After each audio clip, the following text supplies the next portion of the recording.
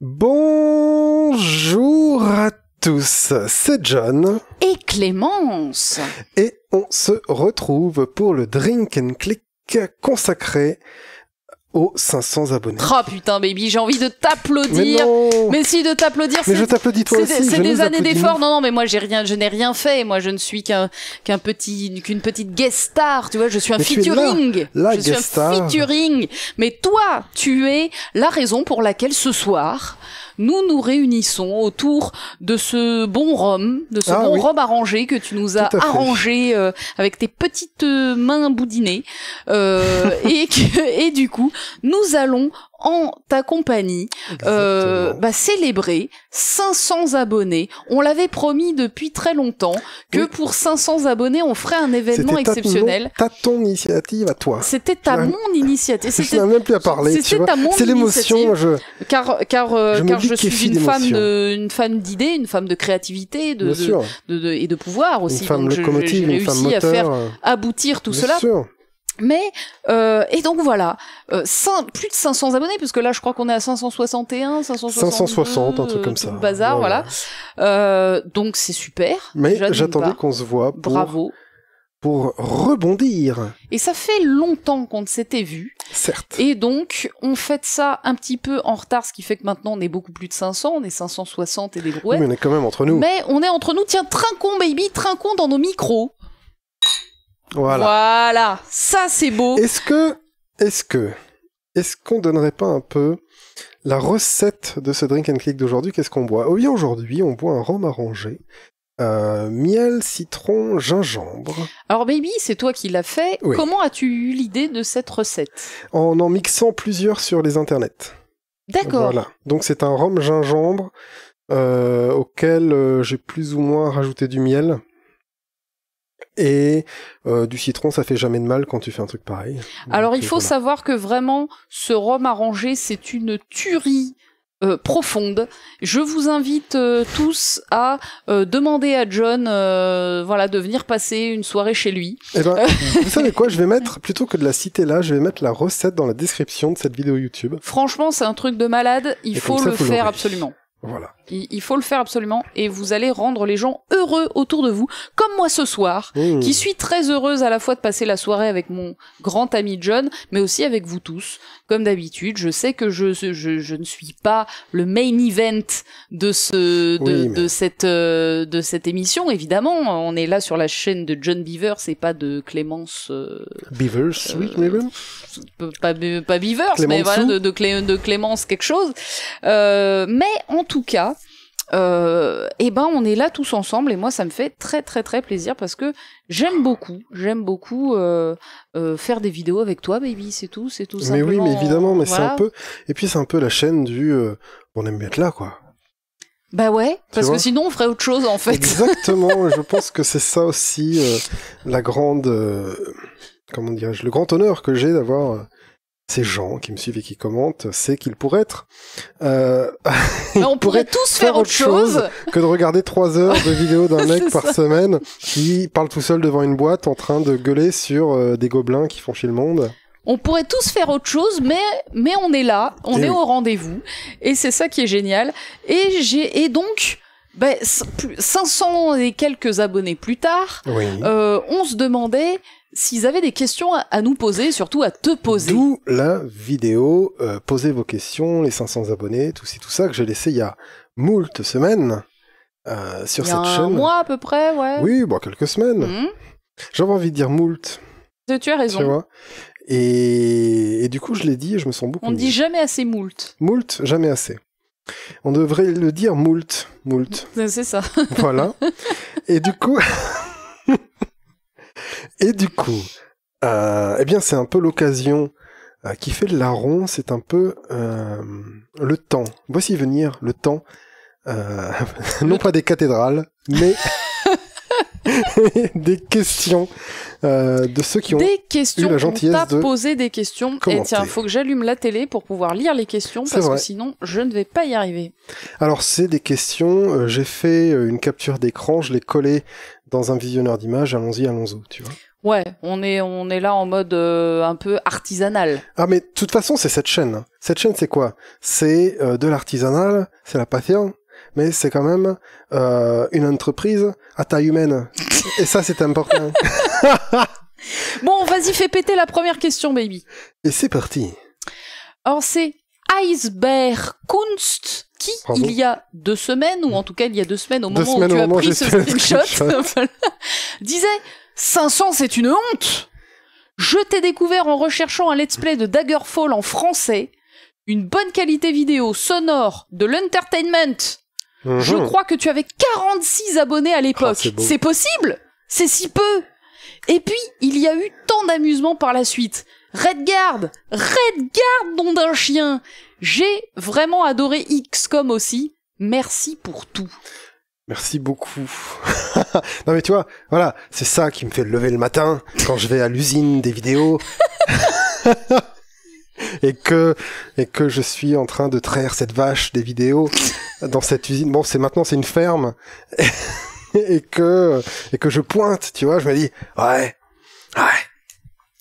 Et du coup, bah merci, merci. Oui, c'est possible. Évidemment, c'est pas le but d'avoir mm, 500 000 abonnés. Euh, les gens qui euh, qui tablent là-dessus sont là pour d'autres raisons, qui sont plus, qui, Qui sont, sont tout aussi- respectables. Voilà, c'est ça, qui sont les leurs. Et puis, euh, Mais je pas m'en- là pour... euh, je m'en fous en fait, tu vois. Mais c'est vrai que quand même le but de cette chaîne, c'est euh, c'est déjà l'exploration, mais aussi ce côté, et on y reviendra peut-être. J'ai vu ça Ah sur oui, .com, oh oui. le côté un peu club, un peu, euh, On y reviendra Select. parce que moi aussi j'ai des choses à dire sur la question. tu vois, avec un avec un pianiste qui fait du jazz sur un piano Mm. pendant qu'on boit un petit, N'en dis pas euh, trop, un petit whisky Un petit- dans un des petit sièges en cuir, rhum, un petit rhum dans des euh, sièges en cuir. Voilà, Euh, un petit peu- rhum arrangé, euh, gingembre, euh, citron, miel. C'est ça. Et, euh, et ben ouais, et ben... euh, Et, et je, je suis d'accord sur le fait que Redguard, c'est l'un des let's play que je préfère, même si j'avais mon vieux micro à l'époque. hmm, Alors plutôt que d'avoir ce super micro à 200 000 balles qu'on a sur la tête, là, Merci Mathieu. merci Mathieu, euh, j'avais mon micro sur pied, mon Bird Ouais, UM1. ouais, mais Bird qui était pas UM1. dégueulasse Il non est plus. pas dégueulasse, mais il était tellement posé sur un sur le bureau, bah, qu'on entendait les touches, qu'il y avait un écho chelou parce que le ma voix rebondissait sur le mur avant de revenir. Mhm. Tu vois, et que j'avais pas du tout le budget d'insonoriser un endroit dans le salon, enfin, tu vois. C'est toujours pas le cas. hein, C'est toujours pas le dire, cas, évidemment, voilà. hein, on est toujours dans ton salon, il est toujours pas insonorisé. Et, Mais, euh, et du coup, ouais, le, le son a beau être euh, ce qu'il est dans cette, euh, dans ce let's play, je l'aime beaucoup. Euh, peut-être, euh, peut-être parce qu'il est unique en France, peut-être, et aussi, euh, et aussi parce que l'aventure de Redguard, il faut la voir, elle est, elle est tellement folle dans l'univers des TES, c'est un- C'est que ce truc existe, quand même. que ce truc, qu'il est complètement barjot. quoi. Qui sait qui a craqué son slip euh, chez, Voilà, chez, chez Bethesda. Mais je crois que c'est euh, le mec qui a fait Morrowind après, en fait, c'était son premier projet. Ouais, Et tu vois, et on voit beaucoup de choses de Morrowind dans Redguard. et Mm, voilà. c'est vrai. Et donc, et XCOM, évidemment, XCOM qui était un périple complètement fou. Euh, Partir là-dedans comme un innocent et finir euh, à dire attendez, euh, je fais deux trois euh, sessions de trois heures moi-même et après on revient parce que euh, on n'avance pas, c'est fou. Et ce jeu, c'était euh, pour un pour un innocent total comme moi, c'était euh, ah, une sacrée expérience. Et quand on l'a fini, va à chaque fois on finit les jeux et on se dit putain, Ce Ouais. temps de chemin parcouru. Ouais, c'est ça. On, on regarde en arrière et on Bah se rend oui. compte qu'on a de la barbe et que on a trois gosses et, euh, et qu'on vient de finir de rembourser le prêt, tu vois. Donc, euh, donc merci, merci Ace Bayer de euh, Ace de euh, de me montrer de, de tout ton ça. commentaire. Les, les, moi, j'ai une petite question. Les commentaires, ça te fait quoi quand tu vois des commentaires sur ta chaîne? Bah, les commentaires, que- c'est le c'est mon pain quotidien. c'est la, la rançon du succès? C'est Bah, quoi? la rançon du succès, ça voudrait dire que c'est pas bien. Tu vois, c'est euh, oh toutes ces femmes qui se jettent sur moi, c'est vraiment la rançon du succès. voilà, là, là, je peux le dire. Mais non, c'est c'est ça le but finalement. Ouais, d'accord. C'est ton objectif, c'est de partager. Un réseau social Mm. et non pas comme euh, des mecs qui vont dire à la fin de leur vidéo, et là je dénonce, attention, euh, hey, dites-nous ce que vous avez pensé de, du trailer euh, de ce jeu mobile. Est-ce que vous, vous jouez sur mobile aussi euh, nanana, nanana. Et en fait, tu vois qu'il y a zéro interaction, Mm. et t'as tout un tas Oui. de mecs qui lancent des bouteilles à la mer que, personne n'ira jamais. Et du coup, j'ai ma méthode, j'ai mes process. C'est-à-dire que quand, euh, quand je vois un commentaire et que je le lis, je mets un petit cœur et un pouce bleu. Parce qu'évidemment, euh, je veux dire, tu repars euh, au moins avec ça. Mais si je mets un cœur sur un com, c'est-à-dire, ça veut dire que je l'ai lu. Si je n'en mets pas, c'est que je ne l'ai pas lu. Ça me sert à ça, en fait, les cœurs. voilà. C'est voilà, ça pourrait être Ah oui, c'est vraiment un process, quoi, d'accord. Ah oui, oui. Et ensuite, je Tu- réponds. Tu sais que t'as lu le truc si t'as mis un cœur. Et ensuite, je Mhm. réponds. Et euh, je crois que j'ai répondu à euh, 98% des commentaires, à moins que le mec ouais, il dise. euh, euh, Ah, ouais, ouais, ouais, ouais, ouais. Et là, bon, t'as plus rien à dire derrière, parce que le mec, en fait, il est indien, et que, euh, voilà, il était juste là en escale et qu'il repart en Amazonie. Mais, go, let's go. Oui. Ok, euh, Michu Picchu, bien sûr. Bah écoute, moi aussi, et je suis content que mis Redguard. Et là... Mais voilà, après, euh, euh, voilà, je pense, je sais même plus ce que je disais, je t'avoue, là, je suis... Bah que les commentaires c'est cool en fait. Les commentaires, c'est la vie Et que c'est pour ça qu'un peu que tu fais ça. Oui, oui, si, sinon je Que y demanderais avait de pas l'argent. de, s'il y avait pas de commentaires, tu t'aurais arrêté depuis Bah, si, longtemps. si j'avais pas les commentaires, je serais euh, encore un, au niveau débutant où j'ai, allez, 10 vues sans commentaires et où je continue pour que ça Mm. devienne des trucs qui sont commentés avec une vraie communauté. Et là, en fait, plus que les commentaires, c'est la communauté. Hmm. C'est euh, les, les, Les gens, fidèles. les fidèles. Mais On, fidèles, on va les voir, on va tous les voir. fidèles, ça fait église. Tu vois, mais Oui, les non, mais fidèles à cette chaîne, on Oui, va les dire. fidèles à cette chaîne, bien sûr. et les, euh, voilà, les, les Bien piliers. sûr qu'ils ne, Les qu'ils ne, t'adressent pas des, des, des prières et des cadeaux Voilà. et, des, et des présents et des dans le, privé, sacrifices. dans le privé, ils font Ils ce qu'ils veulent. veulent. C'est pas à moi de juger la religion des gens, et si on veut un culte à moi, bon, mais, mais en tout cas, voilà, je ne cautionne pas ce genre de pratique.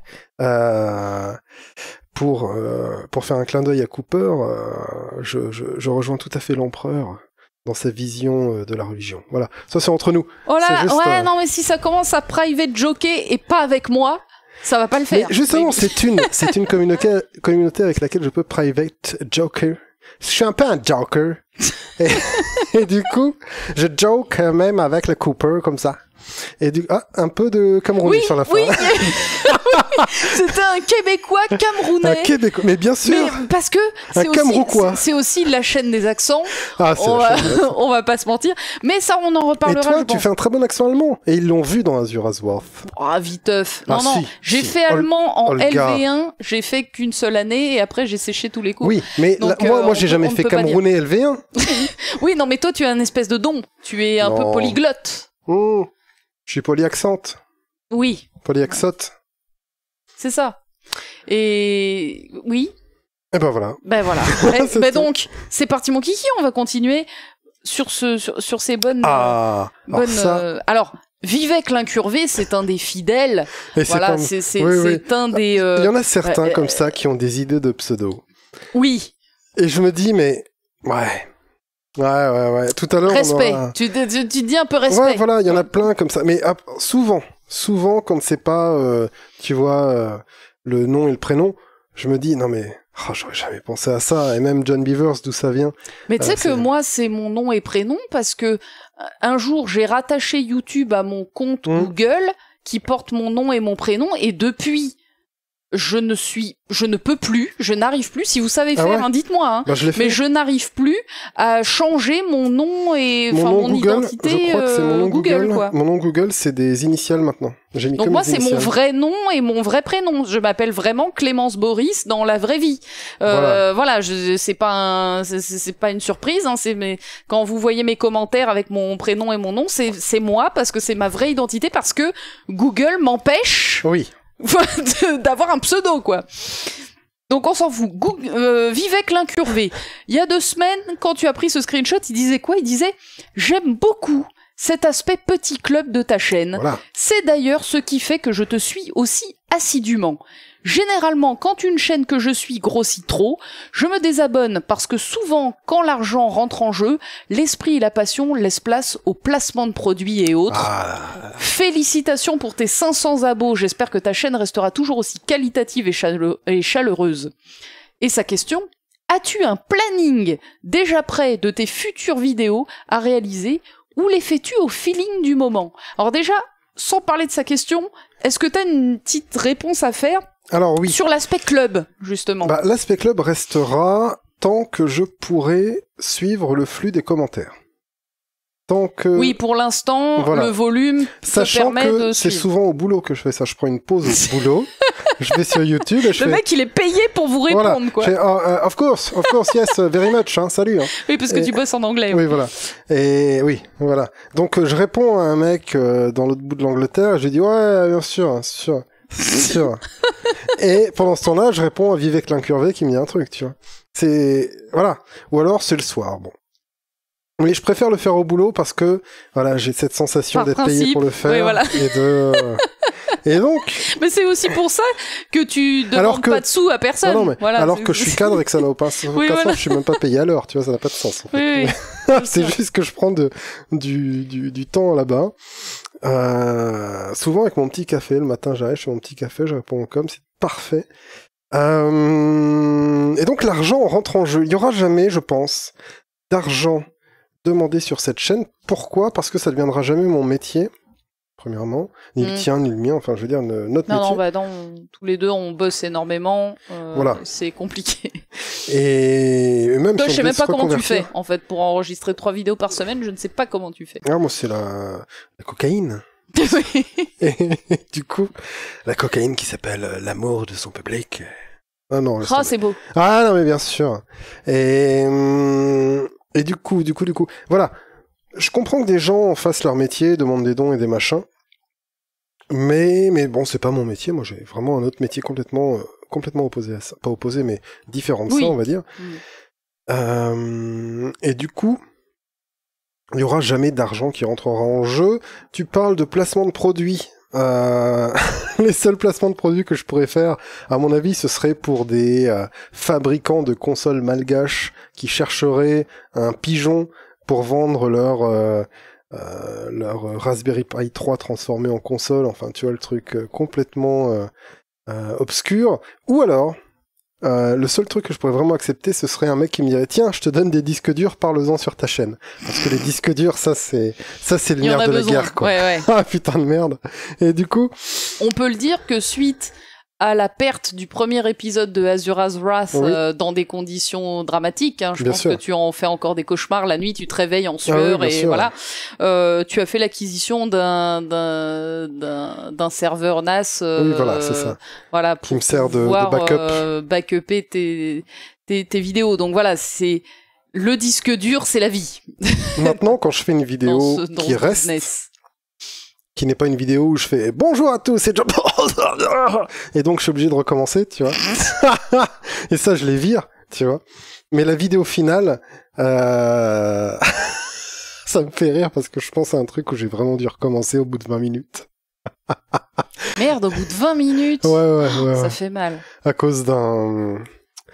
Euh, oui. du coup, euh... non, non, à cause d'un repas un peu chargé que j'avais fait avant, et, euh, et sans le vouloir du tout, j'ai lâché une sorte de raw de l'espace. et je sais plus si c'était dans mon raw ou dans un truc d'après, mais je me suis dit, oh putain, dur. Soit je fais un montage qui va me prendre plus de 20 minutes, soit je reprends ces 20 minutes là parce que non, je ne peux pas, quoi. Ah merde. Et du coup, mais c'était vraiment, eh bonjour là, bling. et tu vois, waouh, Bon, ok. Donc on commence avec les anecdotes. On est bien parti. On sait que la Ah, mais de deuxième toute façon, question. que- Oui, oui.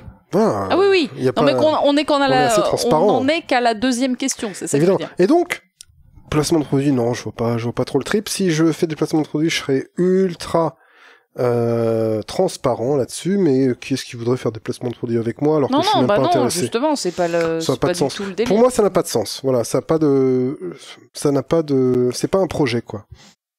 Donc merci, hein, merci Vivek l'incurvé. Et pour ce, pour te répondre au planning, le planning euh, est-il euh, est-il fait ou au feeling? Eh bien, en fait, il est fait au feeling, c'est-à-dire que j'en ai un, mais mais il arrête vois, pas de changer. voilà. bah là, je sais que non, non, je sais que ça va être euh, nos prochaines vidéos qu'on a tournées ce week-end, Ouais. puis la première saison d'Oblivion, puis Arcanum, puis la deuxième saison d'Oblivion. J'en suis là. Ouais. Ok. Et peut-être Wizardry.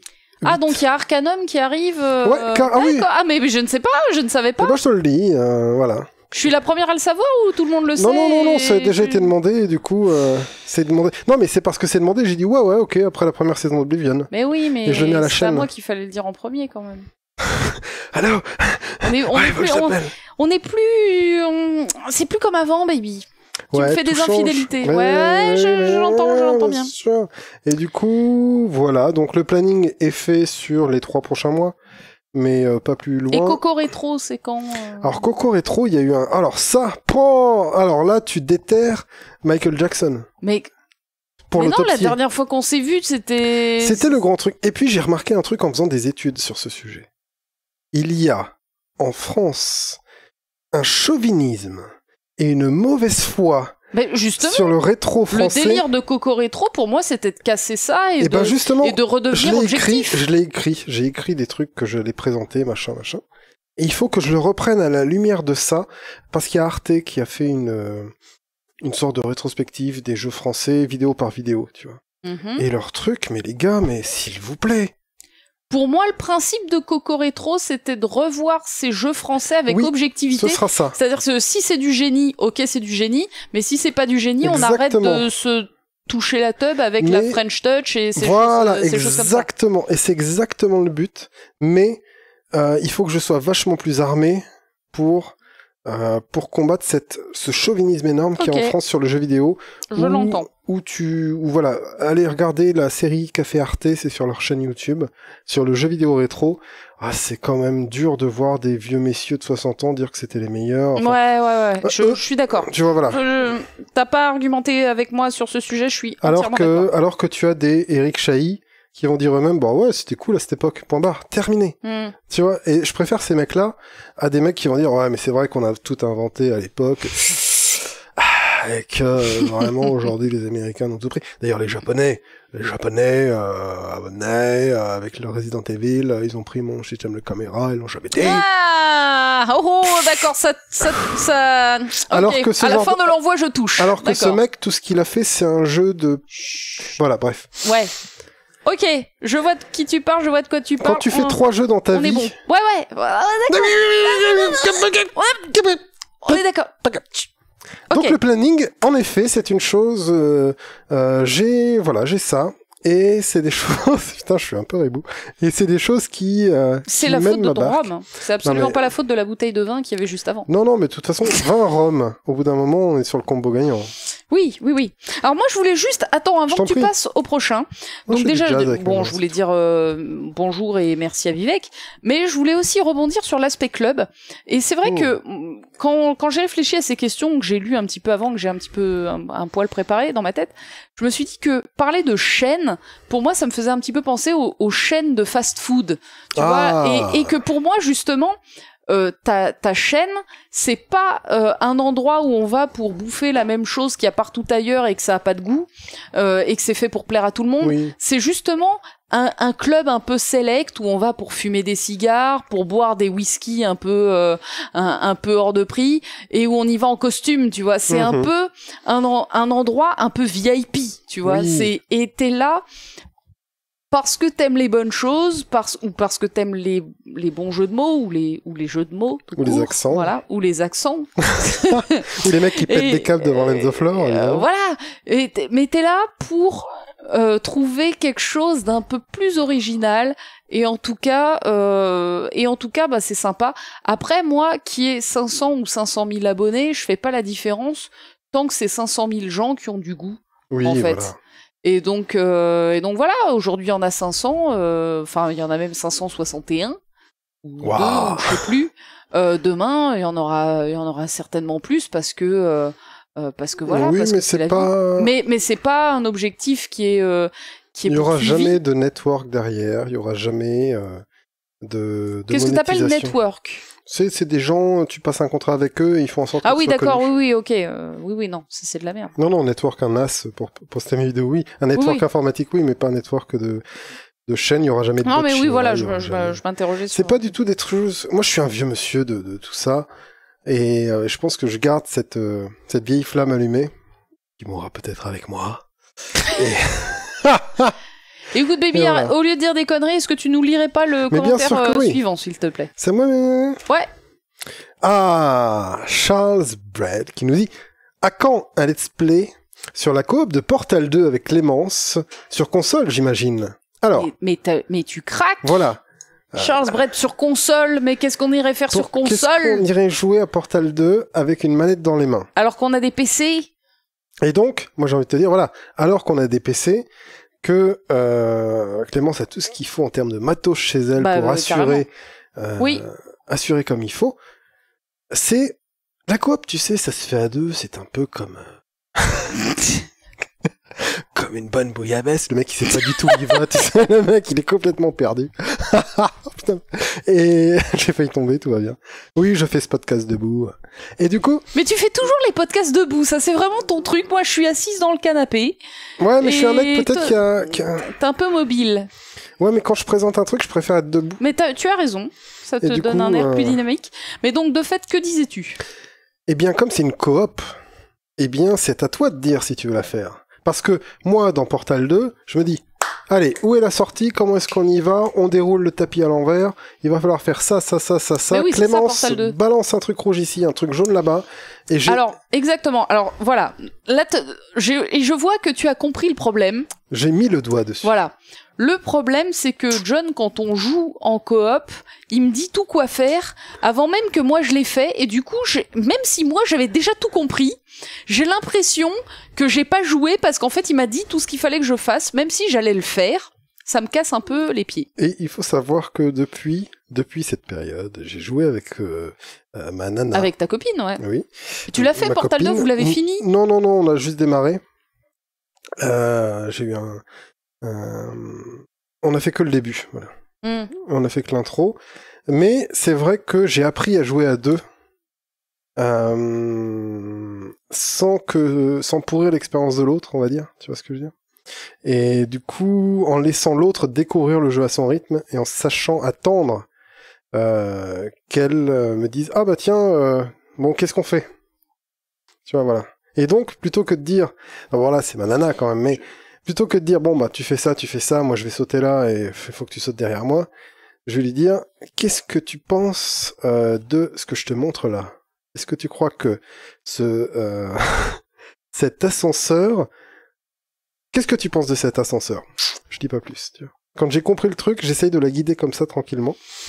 Je, je te regarde avec euh, force scepticisme. oui. Et en tout cas, moi je dis, moi, si ma réponse, si la réponse dépend de moi, alors je dis euh, quand vous voulez.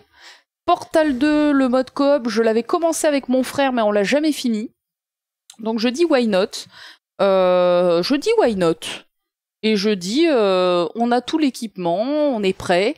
Si tu n'es pas trop invasif, oui et si tu me laisses mon espace de réflexion et de jeu, euh, je dis pourquoi pas, mais euh, ça dépend un peu surtout de toi. Et en tout cas, euh, ben pourquoi Bah, pas? on verra, on peut le tourner, on verra si on poste.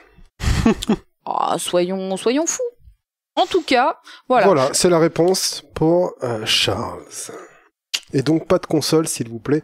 Les consoles, c'est vraiment quand il faut une manette ou que c'est une exclusivité. Mais euh, Non mais voilà. peut-être qu'il parle de ça parce que j'ai mal à l'épaule et que et qu'il le sait et je te dis si c'est bien ça je te dis merci Charles de, de penser à mon épaule. Euh, mon épaule ne va pas bien du tout. Euh, ah ouais, Ouais, ouais, c'est l'horreur en ce moment. Depuis que je fais plus de batterie euh, depuis quelques semaines, euh, j'ai vraiment beaucoup plus mal qu'avant. Mais euh, mais si c'est pour euh, divertir euh, la communauté, je dis sacrifions-nous, tu vois, sacrifions-nous, soyons fous et souffrons en silence. Waouh. C'est beau ce que tu dis, quoi. C'est le voilà. C'est le rhum. ouais, sans doute. Vas-y baby. Oh sandwich. Sandwich Donna. Salut Sandwich, salut la famille Donna. Ah, bien sûr. J'espère que euh, Ah ça bah, grandit euh, tranquillou milou et Voilà, que tout se passe bien. Euh, vraiment. chez, chez la famille Donna, Meilleur à vœu. qui on fait des gros bisous et qui nous disait félicitations, tu mérites d'être populaire. Franchement, je ne suis pas un fan du facecam. Ah. Ah, parlons-en. Les joueurs surjouent leurs émotions pour plus de spectacle. Bref, je préfère t'entendre rire à tes propres blagues inaudibles ou des trucs comme cela qui t'appartiennent. Voilà. Et je lui ai demandé après mes propres blocs inaudibles, ça veut dire qu'on m'entend mal dans le micro, tu vois, je suis full paranoman, euh, direct. Il m'a dit non, non, c'est les blagues que tu censures. Oui, Parce que des fois, ça arrive super souvent. oui, mais je suis obligé. Même à, même à moi, tu me le fais. Voilà. Ou t'es mort de rire dans ton coin, je suis obligé de te dire, baby, s'il te plaît, est-ce que tu peux me la faire? Est-ce que tu peux me la sortir? Voilà. Fais vivre cette blague, tu vois, dans le, dans le cosmos. Sauf que là, c'est YouTube. Alors, si tu dis que tu penses à des trucs, euh, ah, non, terminé. Et du coup, du coup, en effet, il y a des blagues comme ça que je vais, euh, sur lesquelles ils me font beaucoup rire, mais, euh, mais que je ne peux pas faire parce que je ne peux pas heurter la sensibilité euh, des plus sensibles. C'est des Et- blagues euh, Peggy 13, c'est ça Euh, euh, oh, Peggy, euh, Peggy euh, 18 Eight. show. D'accord. Donc, Peggy 18. Peggy 18. Et du coup, euh, du coup, voilà, mais je, je, en train d'en qu'est-ce que tu penses du facecam? Alors, le facecam, j'avais promis de le faire au bout de 1000 abonnés. Oh putain, t'as promis un non, non, truc pareil? j'avais. Ah, mais là, je vois une de- de levée de, bouclier. Euh, une levée de bouclier Captain America, euh, le CRS. Tu vois, paf Vraiment. Euh, et du coup, je me dis, ah bon? Eh ben, tant pis. Bah, tant pis ou tant mieux? Bah, euh, tant pis, tant mieux. Enfin, moi, je, du coup, je Moi, ferai pas de facecam. avec- c'est tant mieux. hein. Enfin, moi, je suis pas du tout dans le délire facecam. Après, c'est pas à moi qu'on me pose la question, mais euh, mais je dis euh, voilà. Ça me dérangeait pas. En fait, moi, ce que je voyais, c'est je fais une facecam pour dire bonjour à tous. T'en as mis 32. Je les ai comptés Ouais. 32 hauts dans bonjour à tous. C'est John. Voilà. Et du coup, Je vous invite à compter les hauts dans bonjour et de voilà. Moi, j'en ai compté mode. 32. et, et un jour, je me suis dit que j'allais faire une intro où je fais bon et je m'arrête plus. Tu vois, et je commence à jouer au jeu, machin. Enfin bon, je ne sais pas. Euh, j'ai réfléchi à des concepts, tu vois, des nouveaux concepts qui viennent d'Amérique. et Et du coup, le facecam, bah écoute, ouais, moi ça aurait été bonjour, salut, c'est John, euh, ça va, euh, bisous, on y va. Et quand on y va, bah là, il y a que Il y a le jeu. plus de oui voilà. Je m'en fous de la bougie du mec, moi. Enfin, de la, comment on dit, non, de la tête du mec. Ouais. Euh, bougie, c'est un truc de Montpellier, bonjour, quoi. Et hum, je m'en fous de la tête du mec parce que moi, je veux voir Moreau, je veux voir Obli, euh, je veux voir euh, n'importe quel jeu qu'il est en train de faire, tu vois. Et donc, ta tête, gars, euh, pff, tu peux la ranger, tout va bien, quoi. Et donc, moi, j'aurais rangé ma tête Mhm. après en disant Hey, salut, maintenant on est parti. Mais, euh, mais euh, si c'est pas un truc qui est forcément demandé, euh, ou que s'il n'y a pas le, le rebond, ah ouais, tiens, quand t'auras mis l'abonné, machin, ben, eh ben, tant mieux, finalement. Enfin, tant pis, tant mieux, il n'y a pas de. Il n'y a pas de jugement de valeur là-dessus, finalement. Euh, et je suis d'accord sur le surjeu des émotions, mais ça peut le Ouais. faire même sans facecam. Parce que quand tu as un Markiplier, qui est un YouTuber connu, qui va hurler devant des trucs et tu te dis ouais mec euh, là quand même ou Arrête un peu ton char quoi. Ouais. voilà j'ai une j'ai une fille que j'aime beaucoup en France qui est Magla mais elle réagit vraiment euh, meuf euh, voilà souffle Et au début elle le faisait pas donc c'est normal tu vois et mais ça voilà après quand tu tu dédies ton contenu aux gens de 10 à 15 ans peut-être qu'il faut que tu sois plus clownesque et plus tu vois dans une Mais c'est sorte de- d'exagération Mhm. ah non, mais moi je, moi je pète les plombs, Mhm. tu vois. Et euh... et quand je pète les plombs, c'est que je pète les plombs, quoi. Tu vois. Une fois, j'ai eu un épisode de Lens of Lore assez récent où j'ai pété les plombs sur ce jeu, tu vois. Et, et je venais de finir une journée de boulot, j'enchaîne sur Lens of Lore, je me dis mais c'est qu'est-ce que c'est que cette vie? Et parce que c'est un jeu à la fois magnifique et à la fois complètement euh, torture, tu vois. Et mais je, je l'aime beaucoup. Franchement, c'est euh, Tu kiffes? Ah ouais, ce, ce, ce jeu, c'est comme, euh, euh, comme une ex qui te voulait pas du bien. euh, quand tu l'as fini, euh, bah, t'as envie encore de la voir, mais elle t'a fait trop de mal, quoi. Enfin, tu vois ce que je veux dire. Mhm. Intéressant. Lands of Lore, c'est un peu ça, et je pense que ce sera l'un de mes bilans quand j'aurai vaincu la méchante finale. Euh... Donc ouais, Donc, facecam ou en tant que surjeu, non. Sur jeu, t'en auras pas parce que je j'ai vraiment cette sensation de parler tout seul devant une boîte et de partager mes trucs. Euh, tout ce que je fais, en fait, c'est verbaliser ce qui m'arrive. Voilà. Et, euh, et de commenter. Et maintenant, je suis capable de tout commenter pendant, tu vois, euh, vraiment. Ah, je l'ai vu tout à l'heure pendant que tu jouais à Shower with Your Dad Simulator 2015. Je ne sais pas quand va sortir cette vidéo par rapport au podcast. Voilà, donc je, je, Alors, ça- balance. je pense qu'il va sortir avant ce mais, podcast. mais je t'ai trouvé assez euh, extraordinaire dans ta capacité à commenter pendant que t'étais dans la zone. Oui, Ce qui, ce voilà. que- ce qui me paraît Tout complètement impossible. Mais donc, euh, moi j'ai beaucoup aimé ce commentaire parce que justement le facecam, moi aussi c'est un truc qui m'emballe pas des Non, non, masses, oui, c'était une dans idée, le sens où euh. assez souvent je trouve que c'est un peu, euh, ouais, un peu surjoué, ouais, Mhm. euh, et pas, pas pas très sincère, et que nous on n'est pas, euh, enfin on est là pour, euh, Ah, mais moi, je suis là pour être ce que je suis depuis voilà, c'est 300 ça, vidéos. hein. c'est ça. On atteint bientôt la 300e vidéo. Oh là là là là là là là. Voilà, je dis ça, je dis rien. Mais ce sera peut-être celle-là. Pim, pim, pim. On- Si je faisais ça. Mais je ne sais pas, mais tu viens d'avoir l'idée. Mais euh, on aura des chiffres, on aura des. Est-ce qu'un jour on aura des stats un peu sur. Oh oui, euh, pourquoi pas. Il y a X mille euh, vues, il y a euh, X. Pourquoi mille- pas à la fin de cette vidéo-là, si on a le Ok. temps. Pourquoi pas. Moi, je trouverais ça cool. Écoute, Allez, merci balance Sandwich. la purée. Merci sandwich, gros bisous. Balance la purée. On continue avec Stayox qui nous disait on t'a sûrement déjà posé Ah. cette question, mais vas-tu faire TES Arena? La réponse est oui, puisque je ferai tous les TES existants. Peut-être pas le 6, et peut-être pas Tezo, euh, parce que Toz avec Tezo. Mais euh, oui, t'as vu, hein, t'as vu, hein, t'as vu. hein. J'ai dit ouh, et ça voulait dire euh, ouais j'ai vu. Non, mais bien sûr, mais j'insiste sur le ouh. Et du coup, du coup, oui, je vais faire TES Arena. Je t'avoue que j'ai attendu une sorte de rebond de la communauté, euh, des gens qui sont en train de refaire le moteur d'Arena euh, sur Unity. Ça n'arrivera pas. Euh, comme on a eu, tu sais, Daggerfall, Daggerfall sur le moteur de Unity. Daggerfall Unity, en fait, ça s'appelle tout simplement, qui est un chef-d'œuvre de travail communautaire moderne, hein, je veux dire. Mais donc, donc quand est-ce qu'on fera TES Arena? Je peux déjà te dire qu'après Oblivion, ce sera euh, le grand TES saisonnier qu'on fera après euh, après Oblivion. On a eu euh, on a eu quoi? On a eu Daggerfall, on a eu Morrowind. Maintenant, on passe à Oblivion, qui est très populaire. C'en est vraiment un qui est demandé par beaucoup de gens. Donc c'est celui qu'on va faire en premier. Et celui qui arrive en deuxième, c'est The Elder Scrolls Arena. Donc c'est vraiment pour ça que je l'ai fait dans cet ordre-là, en fait, tout simplement. Euh, Oblivion est, plus populaire. Et du coup, euh, en effet, on m'a déjà posé la question, mais c'est très bien d'en parler ici. Et tu as bien fait de la poser.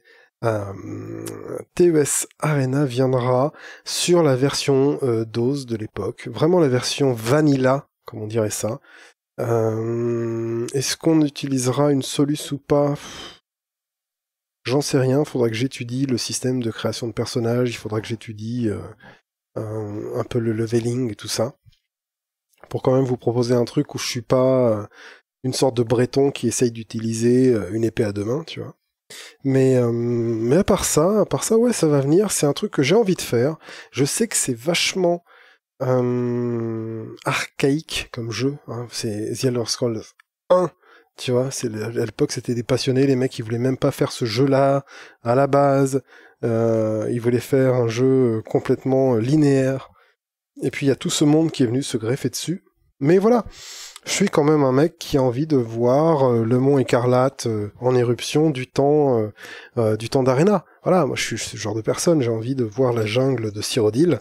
Euh, quand c'était encore une jungle, j'ai envie de, de voyager dans tout Amriel pour aller sauver euh, le monde et, tout, tout ce qu'on peut sauver de toute façon dans The Elder Scrolls. Donc voilà, c'est ma réponse à ce petit commentaire et merci beaucoup. Alors que euh, revoilà Clémence, Oh là là, tu leur as dit que j'étais partie. Non. euh, je leur dis maintenant euh, parce que je suis rentré dans un tunnel et donc j'ai répondu à Stayox qui a eu la gentillesse Eh oui. de nous demander. Et moi, je suis passée faire un petit pipi parce que je savais, j'ai vu dans notre programme qu'on allait passer à un commentaire qui est lourd de chez lourd, qui est celui de The Sanglier. Alors lourd dans le Ah. bon sens du terme. Oui, ah oui, C'est-à-dire que le mec, il a mis du lourd, quoi. Voilà. Il a posé ses couilles sur le sur le podcast, tu vois. il a fait. dit ce podcast c'est moi, tu vois. Et vrai. donc alors, euh, je sanglier, j'ai envie de te dire juste une chose, c'est-à-dire que moi, juste avec tes questions, je tiens facile 5 heures en solo, sans même parler avec John, sans même échanger. Donc, on va essayer quand même d'être un peu efficace, mais euh, voilà, j'ai envie de te dire, tes questions, elles, elles, elles imposent, quoi, tu vois. Elles imposent un peu. Euh, et donc, on va commencer, baby. Ah oui, des questions, nous dit The Sanglier. Alors, on voit qu'il était enchanté quand même de nous poser des questions hein, au départ. Euh, bah Ah oui. déjà, dites-nous en plus sur vous. ASV, comme, dites les, comme disent les jeunes. Eh bien, Âge Sexville, hein, Âge pour les gens qui ont connu les Caramel. internets à une époque. Alors AOL euh, pour moi, Alors, on disait déjà. ASV. Alors vas-y, ASV baby. La première chose, c'est que ça me fait très plaisir de voir The Sanglier, de revoir Oui, The Sanglier. The Sanglier, tu nous as manqué. Oui, tu as disparu pendant un petit moment. Vie et... active, la vie active d'un homme, et du coup, pas forcément le temps, pas forcément. Ouais, non, machin. mais nous aussi, j'ai envie de. te- Non, mais. Non, non, d'accord, mais- On, on rigole, bien sûr. Mais j'espère que ça se passe bien pour toi, The Sanglier, que tu as continué à dessiner. Et Oh j'espère oui que tu as continué à dessiner, s'il te plaît. Euh, si tu as arrêté, recommence. Tu Oui. avais un talent certain. C'est un ordre. Donc, euh, voilà, tu es un sanglier, tu es un sanglier. Merci. Merci pour tout ça. Euh, ouais, carrément, je me suis encore de tes dessins de Vivek et tout, c'était cool. Ouais, génial. ASV, ASV. âge 35, sexe, évidemment, et ville, Lille. Alors de mon côté, ASV, eh bien, la semaine dernière, eh oui, Ah, la vrai. semaine dernière, j'ai fêté mes 37 ans. Et oui, là, tu viens de perdre la moitié de tes abonnés. Non, Hein, mais- que non, les gens. Ah, 37, ça, ça, les gens ça, cherchent une ça maman. sent un peu la, la nav- euh, tu vois, ça, La ça- naphtaline, ça ouais, que plus que la naphtaline, ça sent le, le Non, mais cèdre 37 un peu, ans, ça vois, va. Ça sent le sapin. Ouais, ça sent le sapin. Non, mais ouf. 37 ans, c'est le début de la vie. tu vois. Mmh. Le cycle éternel. Mm. On, on, en, on peut en parler. Euh, sexe, eh bien, je suis euh, une femme cisgenre. Hein, je crois qu'on peut le dire. Voilà, je, je crois qu'on peut le dire. Une femme hétérosexuelle, cisgenre, tout le bordel. Je, il me semble que c'est maintenant comme ça qu'on dit les choses. Mhm. Euh, et quant à ville, eh bien, je vis à Paris. Et donc, du coup, ben, John et moi, c'est pour ça qu'on se voit pas si souvent que ça. C'est parce qu'on vit pas tout à fait à côté. On vit à une heure de train, donc Voilà, c'est pas ce non plus euh, délirant. Mais c'est pas tous les jours qu'on se voit. Euh, mais cela dit, à chaque fois qu'on se voit, c'est le bonheur. Les 10 youtubeurs que tu apprécies le plus, baby Ou pas les 10, hein, mais enfin, Hmm. quels sont les youtubeurs que tu apprécies le plus? En ce moment, je suis en train de regarder un mec qui fait du cinéma. Et je vais peut-être pas en dire 10. Parce que sinon, allez, allez, je peux t'en balancer quelques-uns comme ça. Je vais te balancer le joueur du grenier. Enfin, tu vois, ça n'a aucun sens. Mais il y a un mec qui est américain. Alors oui, euh, qui fait des reviews de films, qui est très bon, qui s'appelle Chris Stuckman. Mhm. et qui est juste un très bon critique cinéma, tu vois. Il va voir un film, il t'en parle, tu sais si t'as envie de le voir après ou pas, tu vois. Et c'est tout. Tout simplement. Et c'est tout. Donc, euh, donc ouais, ça fait partie des gens que j'aime, euh, que j'aime beaucoup regarder. Je pourrais aller voir ma liste de youtubeurs. Euh, Est-ce qu'il y a des Si tu veux, je ne suis plus ou presque plus les youtubeurs français. Pourquoi ça? Y a-t-il une raison? Euh, parce que je suis toujours, alors c'est peut-être l'algorithme de YouTube, hein, mais je trouve beaucoup plus mon bonheur dans les euh, anglo-saxons, tout Mhm. simplement. Du coup, si je devais en citer en français, je regarde encore le JDG. Je regarde, ah, bah si, bien sûr. On- un mec qui est pas assez connu, c'est Ayor Saeba. Euh, Ayor comme le chevalier de- du lion, et Saeba. Ce mec est très bon. C'est quoi sa spécificité? C'est quoi son. Si, il est un peu terrain? comme moi, c'est un vieux de la vieille. Et son terrain, c'est le jeu qu'il a envie de faire. Avec euh, sa petite commu aussi. Ok, donc c'est comme, c'est un peu comme toi. Ouais, c'est un mec euh, avec sa personnalité, sa commu euh, plus réduite que celle de Cyprien. Voilà, Mhm. on va se ranger dans cette catégorie-là. C'est, Et- vaste, mais. euh, oui, ouais. mais c'est vaste, mais c'est beau. C'est un peu comme une femme. ouais, d'accord. On est fatigué. Alors là, pour info, il est 23h04. Voilà, on vient de faire la première euh, blague sur les femmes. Ah, mais c'est pas une blague sur les femmes. Non, mais blague, blague un peu. euh, Olé olé. un peu olé olé. Un Oui, peu mais le lait, on va en parler euh, tout à l'heure avec les céréales. 1999. Voilà, ok. Oui, mais femme des années 80, femme euh, jusqu'au bout des seins. Et du coup, les 10 youtubeurs, pour continuer avec toi, euh, il y en a un qui s'appelle le petit... Attends, comment ça s'appelle? Il fait mousse. Non, non, ça c'est Patrick Sébastien, ça n'a rien à voir. Le petit théâtre des opérations. Ouais, Ça, c'est un mec qui va te raconter des histoires de la guerre 14, voire 40 de temps en temps, intéressant. et qui va te raconter des trucs de fou qui s'est passé pendant, par exemple, la guerre 14. Il va Mhm. te raconter que si la France n'a pas utilisé de Zeppelin pendant la guerre 14-18, c'est parce qu'ils étaient trop cons et que quand il y avait un Zeppelin français qui traversait... Non mais En France, des gens trop cons, excuse-moi, c'est pas une Quand il y avait nouveauté. un Là, Zeppelin- jusque-là, je suis pas étonné. quand il y avait un Zeppelin français dans le ciel français, il était... Il se faisait tirer dessus par l'artillerie, qui croyait que c'était un Allemand. Ah oui. Ou un Oui, espion oui, ou un bah, truc trop comme ça. con à ce point-là, oui, je veux bien. Et il va te raconter des héros de guerre, et il va te raconter des héroïnes de guerre aussi. Et, euh, et donc voilà, je pense que Ailleurs Saïba, le petit théâtre des opérations, et des petits français comme ça, qu'est-ce que je pourrais... euh, hmm, J'ai acheté son livre, Le petit théâtre des opérations, qui est très Oui, très tu bien. m'en as parlé. Très très bien. Et puis sinon, voilà, j'aime bien les vulgarisateurs scientifiques. Euh, j'aime bien les vulgarisateurs historiques. Euh, Il y a une fille qui s'appelle Manon Bril. Manon Bril, j'aime bien. Elle a, elle a des bonnes vibes. C'est une fille qui parle d'histoire et voilà. Euh, voilà, je pense que si je faisais un tour sur ma chaîne, là, je t'en, je t'en citerai euh, ma chaîne, mes abonnements, si tu veux. Mmh, oui, oui. Euh, je t'en citerai plein. Pff, Va voir mes abonnements, j'ai envie de te dire. Et, et Mister MV, il est toujours. Ah, putain, mais c'est vrai. Mister euh, MV, ouais, mais Mister MV, je le vois comme un Twitcher qui fait des VOD sur YouTube et du coup qui n'est pas un YouTuber. D'accord, ok. Mais, mais du coup, ouais, Mister MV, euh, number one, ton, euh, bien ton sûr. number one. Oh, Mais D'accord. euh, oui, bah, j'ai toujours en pot de crayon son mug euh, offert par, Par un de tes, oui, bah, bah, bah, tes abonnés. par ton refrain en fait. Ah oui, mais tu, tu, tu dis trop de choses, oui. Et du coup, La, et du la famille est là, quoi. Voilà, Voilà. c'est ça. Et du coup, du coup, voilà, c'est ça, c'est ça à peu près ma réponse. C'est euh, creuse, creuse dans l'américain si t'arrives à, à bien entendre l'anglais. Sinon, creuse quand même dans l'américain pour te faire l'oreille anglaise. Hmm. Et C'est euh, c'est comme ça que je suis devenu euh, bilingue en fait. Bah oui, bien YouTube Et, euh, et une chaîne qui s'appelait That Guy with the Glasses à l'époque. Ouais. Voilà. Oh j'ai appris à, à bien entendre l'anglais avec That Guy with the Glasses. Tant de souvenirs. Et donc voilà, pointure, je fais du 46. Alors, d'accord, et- ouais, j'allais juste dire que moi, je ne suis pas. Ah oui, tu n'as euh, pas répondu, pardon, oui, excuse-moi. Voilà. Non, non, il n'y a pas de souci. Euh, moi, je suis, je ne suis pas du tout YouTube euh, dans le sens où euh, je n'aime, je, je, je n'aime pas être passive en fait. J'ai beaucoup de mal et c'est un truc peut-être qui vous arrivera avec l'âge, hein, j'en sais rien. Euh, mais moi, ça m'est arrivé avec l'âge en tout cas. Avant, j'arrivais à être passive, euh, à regarder des choses. euh, tout en étant dans mon canapé et en Mmh. faisant rien, euh, plus ça va dans ma vie et dans mon âge, et moins j'y arrive. Et plus j'ai besoin de faire les choses, sinon je m'ennuie. En fait, quand je regarde quelqu'un, quand je regarde la télé, quand je regarde un film, Hmm. quand je regarde euh, des choses, si je ne suis pas actif, si je suis pas dans un processus actif, j'y arrive pas. Donc en fait, je ne suis pas de, de youtubeur. Euh, donc mon youtubeur préféré, c'est John Beavers, hein, euh, voilà, de fait. Euh, et, et du coup un peu moi-même, voilà. Euh, mais c'est parce qu'en fait je, je n'en regarde pas. Euh, Il y a quand même un youtubeur que j'aime bien, c'est Tilou, T-Y-2-L-O-U, Ah, qui est un youtubeur musical. Euh, c'est un, c'est un jeune euh, vraiment très calé sur la musique, sur la composition musicale.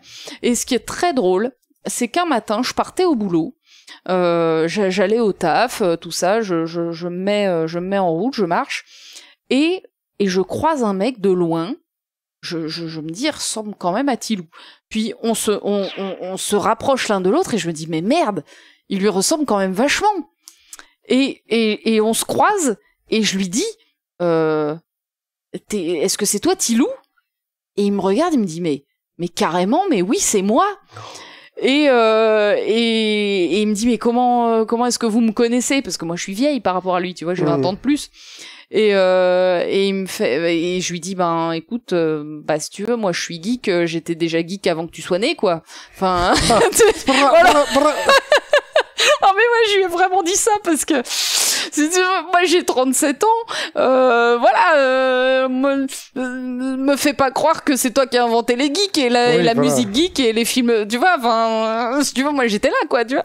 Et euh, et ça et le mec ça l'a séché quoi tu vois et, euh, et il m'a dit bah ça me fait super plaisir et tout de rencontrer quelqu'un qui regarde mes vidéos j'ai dit bah ouais euh, carrément et donc voilà c'était très drôle parce que il est bon. euh, il, il- il- dans sa grande jeunesse euh, de, de, de, de jeune youtubeur euh, qui, qui, qui fait des trucs très cool sur la musique, donc c'est c'est un c'est du YouTube musical. Euh, il s'imaginait que les geeks c'est avec sa génération, c'est avec la génération Harry Potter. Mais excuse-moi mon gars, moi je suis la génération Tolkien. Mmh. Euh, et, Tu peux pas tester, et voilà. peu, c'est ça que t'as envie de dire. et- et- bah, Toi, nous on existait déjà, tu vois. Enfin. T'es quand même de la génération euh, Star Wars première trilogie, Tolkien. Oui. Au bout d'un moment, il n'y a plus de lutte. Et, et pourtant, je suis pas la première génération de ça, je suis la deuxième génération de ça. vrai. Et vrai. donc voilà, c'est-à-dire que même moi, je relativise. Il y a des geeks beaucoup plus vieux que moi, qui ont 10 ans de plus, qui ont 12, 15 ans de plus. Euh, Il y en a, il y en a pas qui ont plus. Euh, 15 ans de plus, c'est le max. Mais, euh, mais voilà, il y a une génération avant la mienne. Donc euh, voilà, ça me fait un peu rire. Et, et ce jour-là, j'ai eu l'occasion de lui faire comprendre que que ouais, nous les vieux, en fait, on est tout aussi cool que que les jeunes, mais peut-être un peu plus cultivés en vrai, tu vois. Et donc ça m'a Oh un petit peu fait rire au fond de moi. Ouais, ouais. tu ouais, parlais de ta pointure, tu fais du 46, baby 46. Quand je rentre dans un magasin et que je veux des chaussures, je ne dis pas, tiens, est-ce que vous avez du marron, du noir euh, Est-ce que vous avez des Levi's Est-ce que non Je dis, est-ce que vous avez du 46, s'il vous plaît? Voilà, c'est tout. Alors, sur, c'est tout ce qu'il y a à dire à propos de ça, évidemment. Il n'y a pas un podcast à faire sur mes pieds, mais Il y a pas de podcast à faire sur euh, la, la proportionnalité entre la taille des pieds et la taille du euh, nez. Du nez. Et peut-être, peut-être que ne dit-on pas euh, grand pied, euh, grande euh, chaussure. Grand nez, de fait. Exactement. Euh, Alors moi je dois moi je fais quelque chose intermédiaire entre le 38 et le 39, ce qui est extrêmement merdique. Ah, tu dois toujours essayer. Oui, Ah, quel exactement. enfer. Exactement. Voilà, Moi, je peux commander des galère. pompes en Moldavie. Si c'est marqué 46, ça le miron. C'est vrai? Ouais. Mais ça existe vraiment de vrai, c'est-à-dire qu'il n'y a pas que moi euh, qui suis obligé de tester les chaussures à chaque fois? Non, non, moi, je ne teste rien. Je, peux- je- du 46, je rentre dans du 46 parfaitement. Mon Cendrillon du 46. Merde. Tu vois? Oh, j'ai la blase d'un ça ferait, coup. eh, ça ferait un super nom de rappeuse. Cendrillon du 46. Cendrillon du 46, c'est génial. Meuf, si tu nous écoutes, Voilà. Et tu veux faire du rap, je, ce, ce, ce, ce flow t'est dédié. Ouais. Hum. Oh. non, pas du tout. baby, 5 animés Euh, de 5 toute, animés. euh, de, de toute nationalité que ce soit. Cowboy Bebop, euh, Mushishi, euh, Adventure Times qui est américain, Cowboy Bebop c'est japonais, euh, Mushishi c'est japonais, Adventure Times c'est Américain. américain, euh, les Simpsons les six premières saisons c'est américain, et un autre animé comme ça qui me viendrait... C'est un manga à la base évidemment, mais quand même euh, l'adaptation qu'ils ont fait de Hunter Hunter ou Hunter x Hunter est très bien. Et euh, si tu veux une dernière petite euh, perle, euh, Shimoseka, qui est un truc japonais. Je ne connais pas Chi- du tout. Moseka, c'est un monde, un monde dans lequel euh, toute allusion et toute référence à la sexualité a été abolie. Il y a un groupe de terroristes qui essayent de euh, réveiller la sexualité des gens en balançant des tracts dans la rue et en se barrant très très vite. Et donc c'est une sorte de, euh, de message très très très sain sur, bah, sur la sexualité non pornographique, mais juste qui fait plaise, euh, avec des lycéens en fait, ou des, je sais pas s'ils sont étudiants ou lycéens, ou lycéens, avec forcément euh, la fille du conseil, la présidente, qui est super frustrée euh, sans s'en rendre compte, et ce groupe de terroristes qui essaye de réveiller la population et de et de les rendre sains d'esprit à nouveau parce que le gouvernement a tout censuré à un moment. Le gouvernement a tout fait des des, des motions euh, de loi et de machin pour euh, pour les mœurs.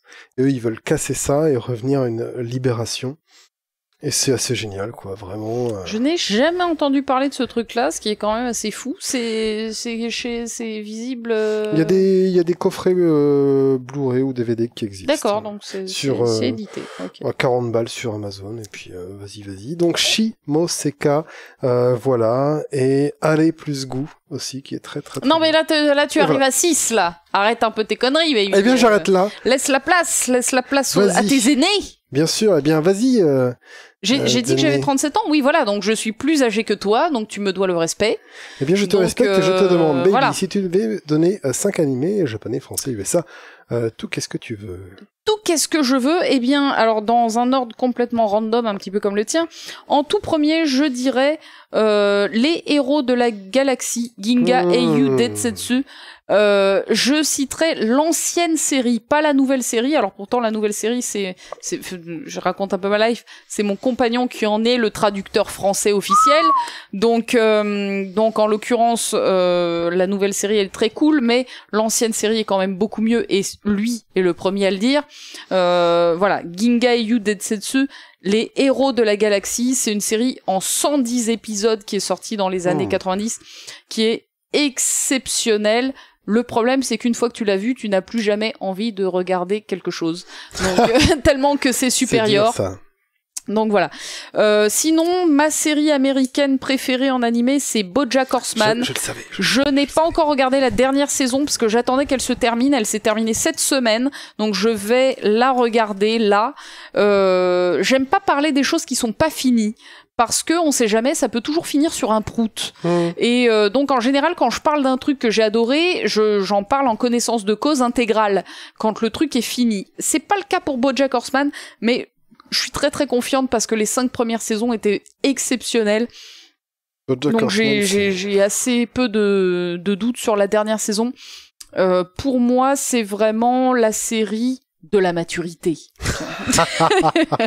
Mais c'est tellement ça, mais putain, au bout d'un moment, comme ça te plombe, quoi. C'est alors moi, ça m'a jamais plombé moi-même dans le sens où c'est pas mes problématiques à moi. Hmm. J'ai mes propres problèmes à moi, euh, et c'est, ce sont pas forcément celles de, c'est, ce sont pas forcément ceux de BoJack, mais oui, c'est quand même une série qui est, empathie, quoi. c'est pas une série comique. C'est une série euh, euh, comico euh, Saras, voilà, comique. voilà. Et, euh, et le Saras, il, il fait mal parce que Mhm. tu le, tu le, tu le ressens, tu l'intègres, il est clairement expliqué dans la série. Mais pour moi, c'est une série vraiment exceptionnelle. J'ai hâte de la terminer. J'espère qu'elle sera à l'avenant des, euh, des premières saisons que j'ai vraiment adoré, que j'ai trouvé exceptionnelle. Paraît-il que oui. Oui, il paraît. Voilà. En effet, c'est ce que j'ai lu aussi. Euh, je citerai aussi Avatar, le dernier maître de l'air. Ah. Euh, que j'ai vraiment adoré et pour moi son euh, son son son descendant c'est le prince des dragons. Et oui, Mhm. je reviens sur un truc dont j'ai déjà parlé dans un précédent podcast, sauf que j'ai remarqué entre-temps que Netflix a renommé la série Le Prince Dragon en Ah. Le Prince des Dragons. Alors là, je fais euh, une, euh, une spéciale case dédiée à euh, mon ami euh, Charlie Bonson, avec qui j'ai parlé de cette série en commentaire. Voilà, parce que euh, bah, le fait qu'il change le, le titre, et avec Salem Ibor aussi, on en a parlé, euh, le fait qu'il change le titre de cette série, j'ai trouvé ça assez, euh, assez étrange. Euh, voilà, maintenant ça s'appelle Le Prince des Dragons. Si vous retournez sur Netflix, c'est vraiment excellent. Hein, vraiment, très je, vous- bien. je vous le conseille. L'animation est un peu chelou, mais c'est vraiment très bien. Alors en fait, ça s'améliore au fil des, Ah, des classe, saisons. très très classe. alors. Ils ont de plus en plus de sous. Euh, je pourrais également citer Paranoia Agent. C'est Oh, euh, une ça. série de Satoshi Kon. Donc Satoshi Kon, c'est vraiment un maître de l'animation japonaise. Mhm. Il a fait notamment Perfect Blue que j'ai revu il y a pas longtemps et qui est vraiment un film euh, d'animation exceptionnel. Euh, qui a fait également euh, Flûte Millennium Actress qui est un film que que je que j'adore hein, vraiment très très profondément. Et donc Paranoia Agent, c'est sa série d'animation. Euh, ça a été un choc pour moi dans ma vie quand je l'ai vu. C'est une série sur le sur le fait que parfois on se ment à soi-même et que se mentir à soi-même peut un jour devenir une réalité Mhm. euh, à- parce que parce que finalement la mémoire c'est quelque chose de malléable et qu'on peut la, reformater à force de se raconter une histoire. Et, euh, et c'est quelque chose qui m'a fortement marqué dans, dans cette série, qui, qui a résonné en moi. Et donc voilà, Paranoia Agent est une série exceptionnelle, comme toute l'œuvre de Satoshi Kon, qui est un réalisateur japonais qui est disparu il y a, euh, il y a quelques années maintenant, très jeune, il est mort d'un cancer euh, du pancréas, euh, me semble-t-il. Mmh. Euh, et, euh, et voilà, c'est- vraiment un mec ex- exceptionnel. Et enfin, je voulais parler d'une série bah, que, que j'ai revue chez toi euh, en manga, et alors que j'avais prévu d'en parler, c'est Planète. Euh, Planète, série animée japonaise aussi, vraiment exceptionnelle. Euh, c'est l'histoire d'un d'un groupe de personnes dont le métier c'est d'être éboueur de l'espace, puisque c'est de retirer les débris qui flottent dans l'espace de la bah, de, de- des voyages euh, humains dans l'espace quoi voilà euh, tout ce qui de- se voilà. euh, de- donc, si vous avez vu euh, ben, Gravity, par exemple, hein, qui est un Mhm. film qui est basé sur l'existence de débris dans l'espace, donc qui, qui détruisent une station euh, spatiale, ben là, en l'occurrence, c'est c'est une série qui se passe, euh, qui, qui a été écrite avant, à la fois en manga et en animé, et qui raconte l'histoire d'éboueurs de l'espace. Euh, qui est beaucoup mieux que Gravity. hein. Vraiment, euh, le seul ouais, lien, ouais. c'est qu'il y a des déchets dans l'espace. Voilà. Vraiment, s'il y a quelque chose à voir sur le l'humain dans l'espace, Voilà. pour moi, c'est Planète. L'animé est, est, est vraiment excellent. Euh, Si Allez-y. Si je devais dire un truc sur Planète, t'as vraiment l'effet du mec qui est qui fait son boulot quotidien dans l'espace et puis allez, il faut mettre sa combi et puis il faut aller chercher les, les déchets dans l'espace, mais en même temps, des fois, t'as à la fois ça, donc un côté très, euh, très, très humain, très petit, et t'as quand même ce mec qui va se dire putain mais ouais mais je suis devant l'immensité de l'espace. Mais c'est ça. Le mec, Et- s'il fait ce boulot, c'est parce que Voilà. il a voulu contempler l'univers. Voilà, mais voilà, il a les deux facettes. ce Ouais. Je contemple l'univers et putain, il faut aller ramasser un satellite avant qu'il passe de l'autre côté de je sais pas quoi Mm. et ou qu'il crée un dégât ou de je sais pas quoi. Et euh, le scénar quoi, tu vois, le scénar est très T'as un, t'as un scénar épisode par épisode qui va être ben vite faut aller euh, déblayer ça et un méta scénar qui va être vachement plus euh, Bien sûr. Ap- Après, avec tout ce qui est existentiel et machin, et la place dans l'univers, mais, mais voilà, c'est très très bien. Et si je devais finalement euh, conseiller une série, je, je, je, je pense que je te suivrais pas mal sur Planète. Voilà. Est-ce que tu as d'autres choses? Méga culte? Ben non, non, parce que moi après je te suivais sur Mushishi par exemple. Voilà, pour moi c'est Voilà. vraiment une œuvre essentielle. Mon chichi, c'est la vie. Euh, voilà, donc euh, bien sûr, je te, je te soutiens complètement. Je, ne- je ne sais pas combien on en est dans la vidéo. On Est-ce en est à euh, Est-ce que Une heure deux. Alors est-ce que je peux te demander quels sont tes 5 BD Alors, les Ou- 5 ou BD. Pas 5, hein, enfin voilà, tes, euh, tes si je vais dans ma propre bibliothèque, je vais te dire Planète, hein, la BD. Ok. Et, ensuite, tout ce qu'a fait une personne qui s'appelle Tsuruta. Euh, Kenji Tsuruta. Ouais, je vais le dire à la française. Tsuruta. Ce mais-.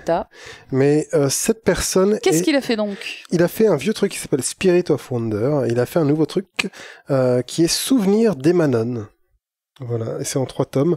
T'as Souvenir d'Emanon, Errance d'Emanon et un troisième. Je l'ai pas encore acheté. Alors qu'est-ce qui te fait tant aimer l'œuvre de cet auteur Tsuruta Il arrive à dépeindre euh, des personnages qui sont à la fois très ancrés dans le réel et très euh, fantasmés, mais pas dans le sens euh, modèle sexuel, tu vois Mhm. ce que je dire, mais fantasmés dans l'esprit.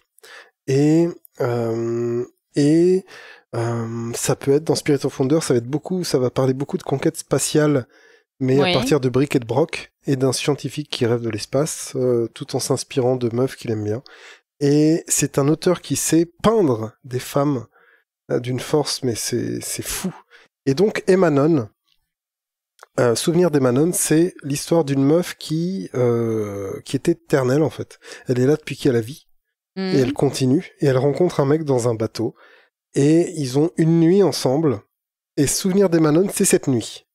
Et donc il sympathise et lui dit euh, mais tu sais moi je suis euh, en fait j'existe j'ai des souvenirs depuis la première cellule. Hmm.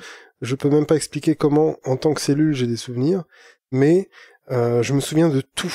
Et ma vie c'est ça et donc lui il est euh, il en tombe très vite amoureux machin mais voilà, c'est, ça te pose ces trucs-là, mais ça te pose dans une mélancolie, non pas mélancolie négative, mais une mélancolie positive. Et c'est très très bon. Euh, je continuerai sur euh, une BD américaine qui s'appelle Requiem. Qu'est-ce que c'est donc? Requiem Chevalier Vampire. Ouais, d'accord, En- c'est bien ça.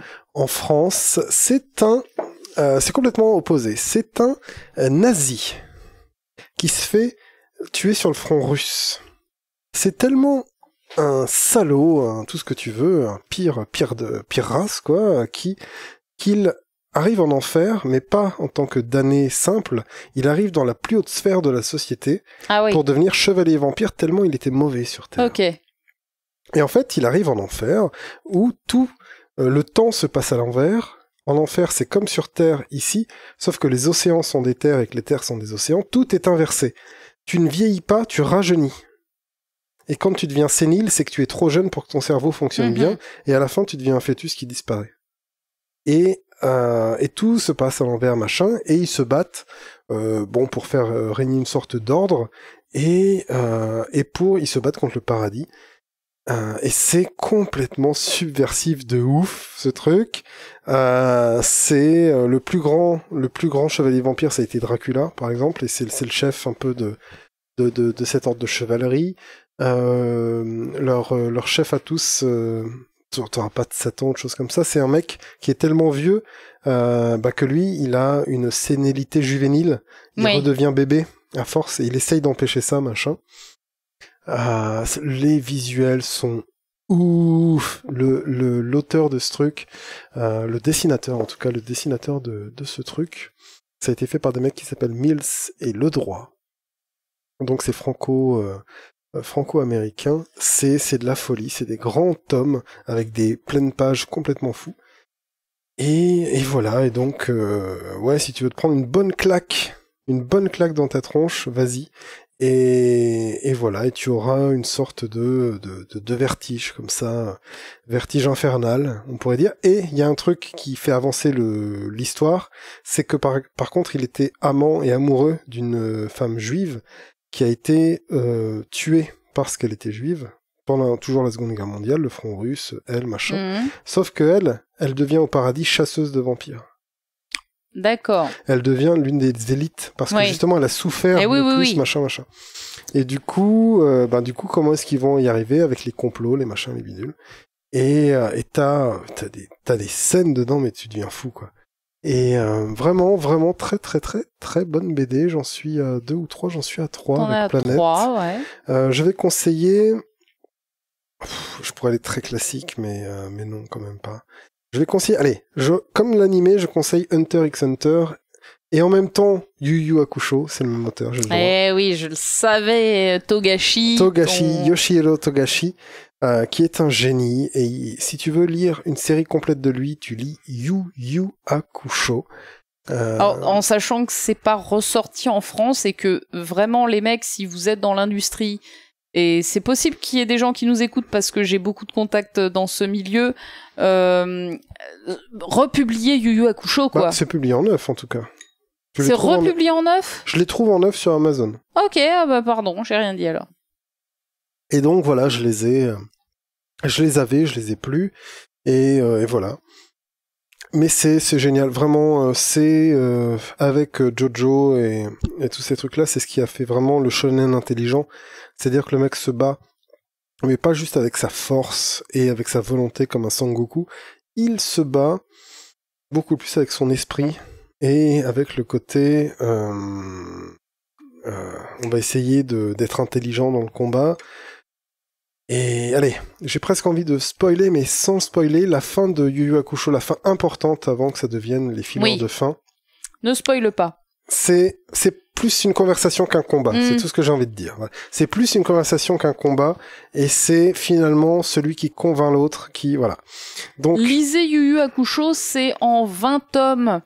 Euh, sauf qu'il y a des tomes qui sont, enfin, à un moment, l'auteur il a continué parce qu'on lui a demandé de continuer et ça. c'était pas forcément sa volonté à lui, mais en tout cas, c'est en assez peu de tomes par rapport à un shonen euh, classique et c'est vraiment très très sympa. Je suis d'accord. très très très bon. Et puis allez, euh, si je devais finir avec un truc, j'ai envie de, de, à toi qui écoutes, de te conseiller un comics qui s'appelle Saga? Ah, bah, évidemment. Voilà, Saga, ça se mange sans fin. C'est très bien, c'est en plusieurs volumes, c'est pas fini. Et ça va te raconter des histoires euh, assez extraordinaires de euh, d'un couple euh, mixte en fuite. Euh, c'est un couple mixte de races qui sont euh, en guerre. C'est un peu Roméo et Juliette. Voilà, dans, dans l'espace. un monde de... Fantastique espace. Voilà. Avec, voilà, leurs deux peuples sont en guerre. Eux, donc, c'est des ennemis de personne. Ils ont un enfant qui est mixte. Et ça va être leurs aventures. C'est assez génial. C'est par qui ils vont être suivis.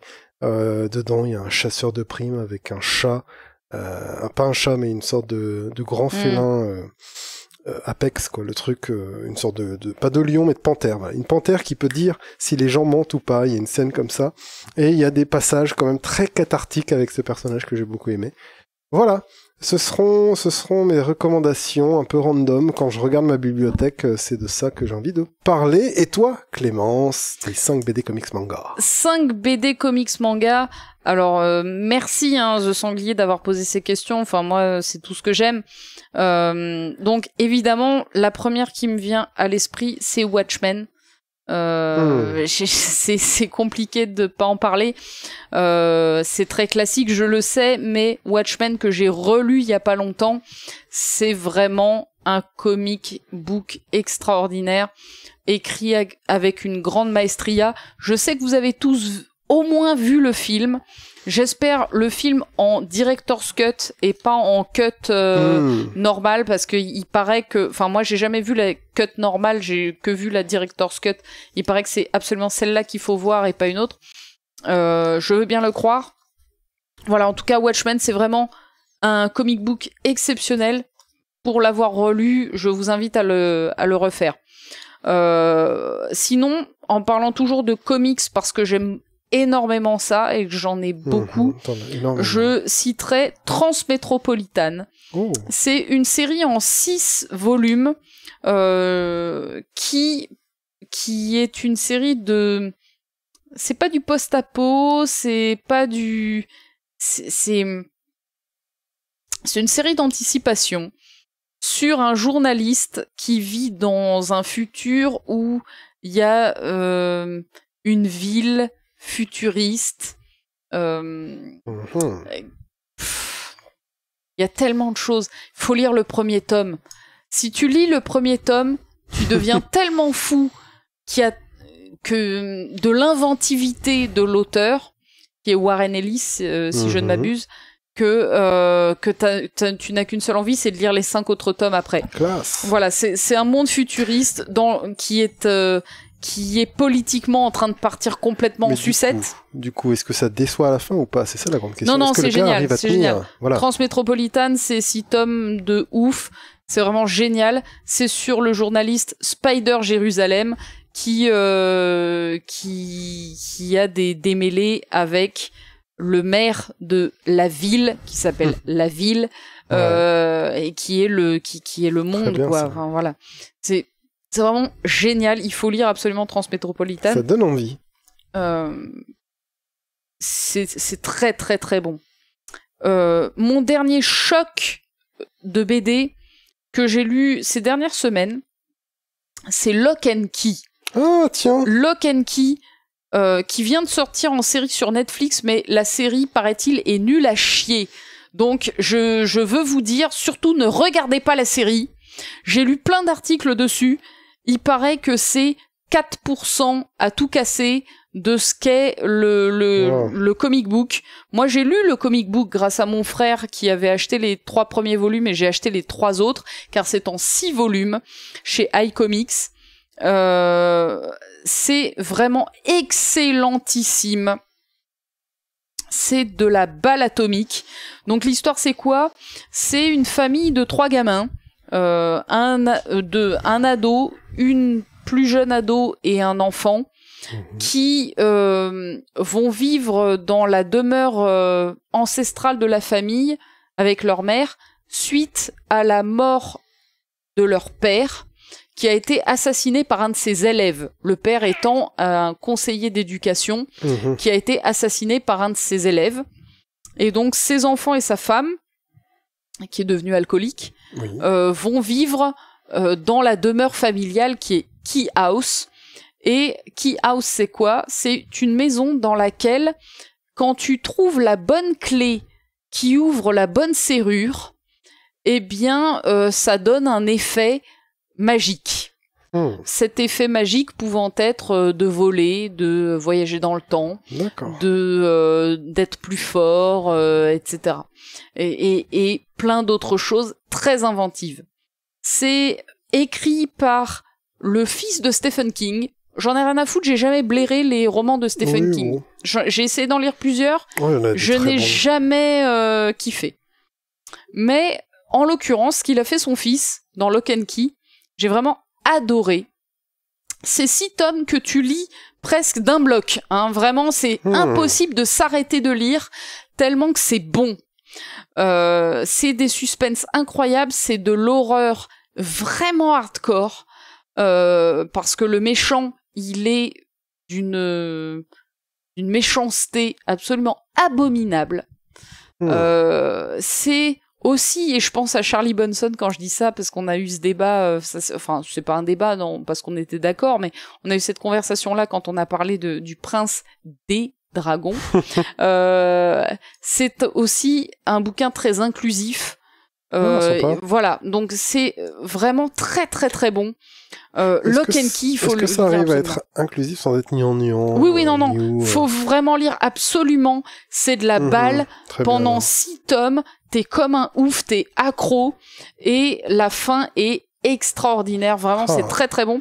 Et euh, il paraît que la série qui vient de sortir vendredi il y a deux jours, puisqu'on est samedi, donc non, en fait, c'est vendredi hier. C'est Mhm. sorti sur Netflix et il paraît que c'est vraiment très très mauvais.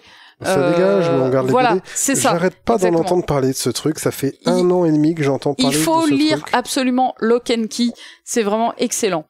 Euh, ensuite, j'ai déjà parlé de Séjours qui disparaissent dans un précédent. Tu l'as lu entre temps Tu l'as lu Euh, depuis? alors, je l'ai commencé, mais je l'ai pas encore fini. Mais ce que j'ai commencé, Je je, ne sais dit, même pas comment t'as fait pour pas finir tout. Oui, euh, euh, je me suis endormi dessus parce que quand je me mets sur un bouquin, je m'endors et c'est un peu Mais voilà, c'est- très très bon. thérapeutique d'ailleurs. Et, euh, et ces jours qui disparaissent, donc j'en ai déjà parlé, mais ça m'a fait penser à une précédente BD française que j'avais adorée, qui m'avait aussi été offerte par mon frère, qui s'appelle Les derniers jours d'un immortel. Hmm. Je j'avais vraiment adoré. Je me rappelle plus qui a écrit ça, et là je j'ai pas envie de chercher sur internet. Ah, je vais y aller tu Euh, tu ok, mais c'est vraiment euh, très très bon. Voilà. Non, mais j'ai pas envie d'en dire plus. Je, je Ah ouais laisse, je laisse, euh, je, je laisse à chacun le soin d'aller voir. Et enfin, parce qu'il il fallait quand même que je, je cite un manga, même si j'en lis beaucoup moins que ce que je ne regarde d'animé japonais. Je suis plus animé que manga en l'occurrence. Mais, et tu en as déjà parlé, JoJo's Bizarre Adventure, Ah, c'est balle. euh, vraiment Mais- mon manga shonen, euh, même si j'ai plusieurs saisons entre guillemets de retard. Euh, voilà, c'est vraiment très très Est-ce bon. que Jojo, Ken et ces grands trucs-là, il faut. Ouais, si, t'as raison, t'as raison. Alors, raison. JoJo's au tout début s'inspire graphiquement de Ken, mais juste graphiquement. Hmm. C'est-à-dire que euh, vrai, dans les l'esprit ça n'a rien à voir, mais graphiquement effectivement il y a une inspiration de de Bulonzon. Euh, mais voilà c'est euh, C'est de la grande balle. C'est ce qui a amené le shoujo intelligent. euh. ouais le shonen shonen. Shonen, pardon, excuse Shoujo, c'est l'autre. C'est très très bon et je le recommande. Baby, quels sont tes cinq films? Alors, juste avant ça, euh, alors tu parlais de Jojo. Euh, si je devais juste glisser un petit dernier truc, Ouais. j'en ai déjà parlé aussi. Devilman, les cinq Oui, bien premiers sûr. tomes. Mais t'en as déjà parlé. Voilà, Ouais. juste, juste si, si t'es adulte, il faut être adulte. Ne, je- si tu as moins de 18 ans et que tu lis ce truc-là, ça ne me regarde plus. Mais si vous avez plus de 18 ans, que vous lisez les cinq premiers tomes de Devilman, voilà, euh, vous venez de ma part, quoi. Et cinq films. Allez, c'est parti. Attention, on va accélérer le rythme. Je vais te parler de The Thing. The Thing. Évidemment. Film d'horreur de John Carpenter, euh, une entité euh, qui peut prendre l'apparence euh, de ce qu'elle veut, euh, s'infiltre euh, dans une base américaine en Antarctique et commence à tuer les gens les uns après les autres. Au bout de euh, quelques dizaines de minutes de film, tu ne sais plus qui est un monstre et qui est réel, et ça te donne une paranoïa qui est magnifique, avec des effets spéciaux où il n'y a rien de numérique et tout Mm. dans ce film a été fait avec des animatroniques et du réel. Mm. The Thing, John Carpenter, s'il vous plaît. Euh, voilà, un autre chef-d'œuvre, ce sera Alien, le premier de Ridley Scott, euh, parce qu'il n'est plus à présenter. Le deuxième de Ridley Scott, ce sera Blade Runner. Euh, s'il est un film existentialiste, c'est bien celui-là. Euh, en parallèle, je te mettrai Ghost in the Shell. Mais voilà, si tu veux vraiment te demander est-ce que euh, on peut être humain sans avoir un corps humain, tu regardes Blade Runner et Ghost in the Shell. Voilà. Euh, je vais continuer très vite, j'enchaîne sur euh, le, le Fils de l'homme avec Clive Owen euh, dans un monde euh, où plus aucune femme ne peut avoir d'enfants Ou presque. ou presque, voilà. Et euh, c'est un monde où plus aucune femme ne peut avoir d'enfants, le monde commence à se déliter, et même le crime est un peu nul, parce que à quoi ça sert au final tout ça?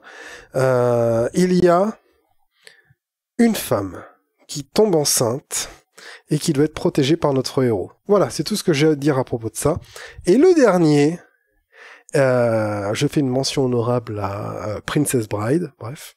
Le dernier, ça s'appelle The Man from Earth. Oh non, s'il te plaît, baby. Je l'ai dans mes, dans, Alors- je l'ai dans mes films. Alors, je n'ai pas dit ça et je vais te parler de Princess Bride. Voilà.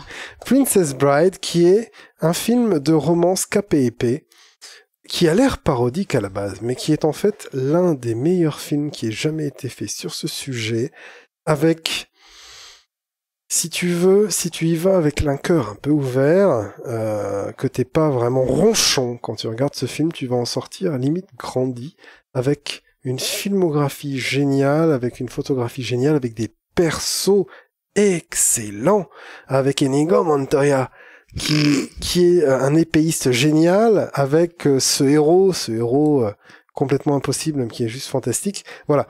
Si tu veux euh, une, euh, du, du romance de cap et épée, euh, qui n'est pas gnangnan, euh, qui t'est raconté à toi, qui est un peu bourrin comme moi, tu vois, euh, eh bien tu regardes The Princess Bride et tu regardes euh, Enigo Montoya qui, qui recherche l'homme qui a tué son père et qui, euh, qui un jour lui dira euh, Bonjour, Tu vas mourir. mon nom est Enigo Montoya, tu as tué mon père, prépare-toi à mourir. Eh oui.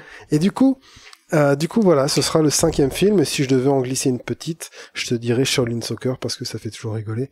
Et donc éclate-toi bien, euh, gros bisous. Voilà. Alors, euh, The Sanglier, je vais te répondre très rapidement aussi. Donc, tu l'as bien compris, The Man from Earth. voilà, pour moi, vraiment, C'est notre numéro un, je pense. ouais, c'est un film extraordinaire. C'est un huis clos. Il y a zéro effet spécial, il y a zéro rien, il n'y a pas de budget. Il y a 4 euros et des brouettes Ah oui, plus je le cachet que- des acteurs. Là, on pourrait le faire Euh, dans cet appart, ce. Voilà.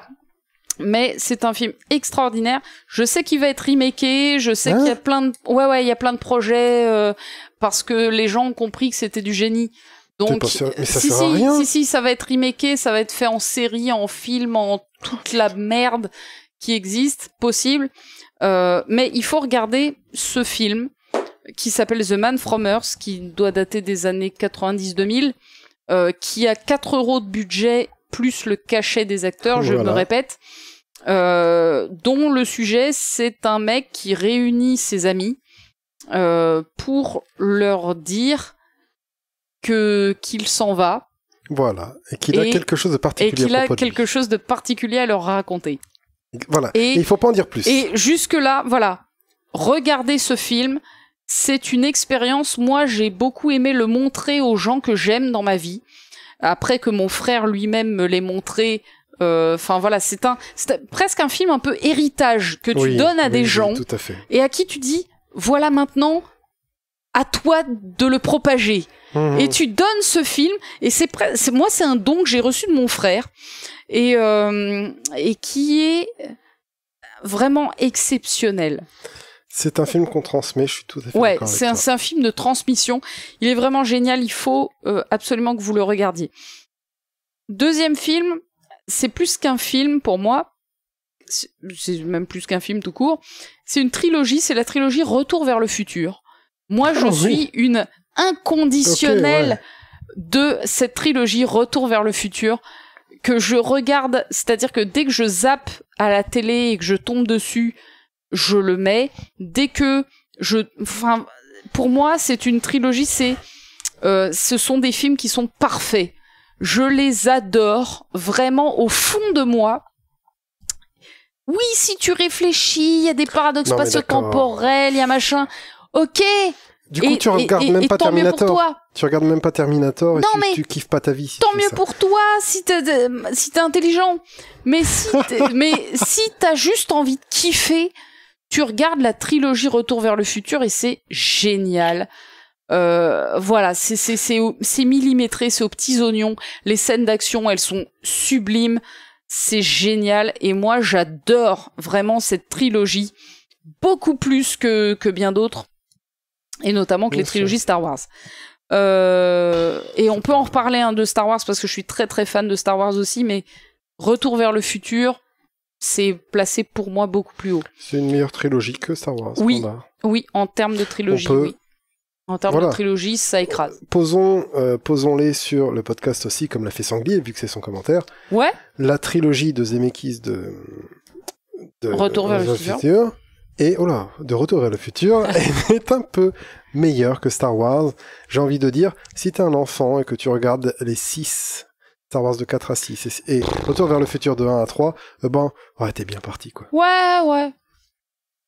Next. Alors, Next, très rapidement, L'armée des douze singes. ah, il C'est revient. c'est un film que j'adore.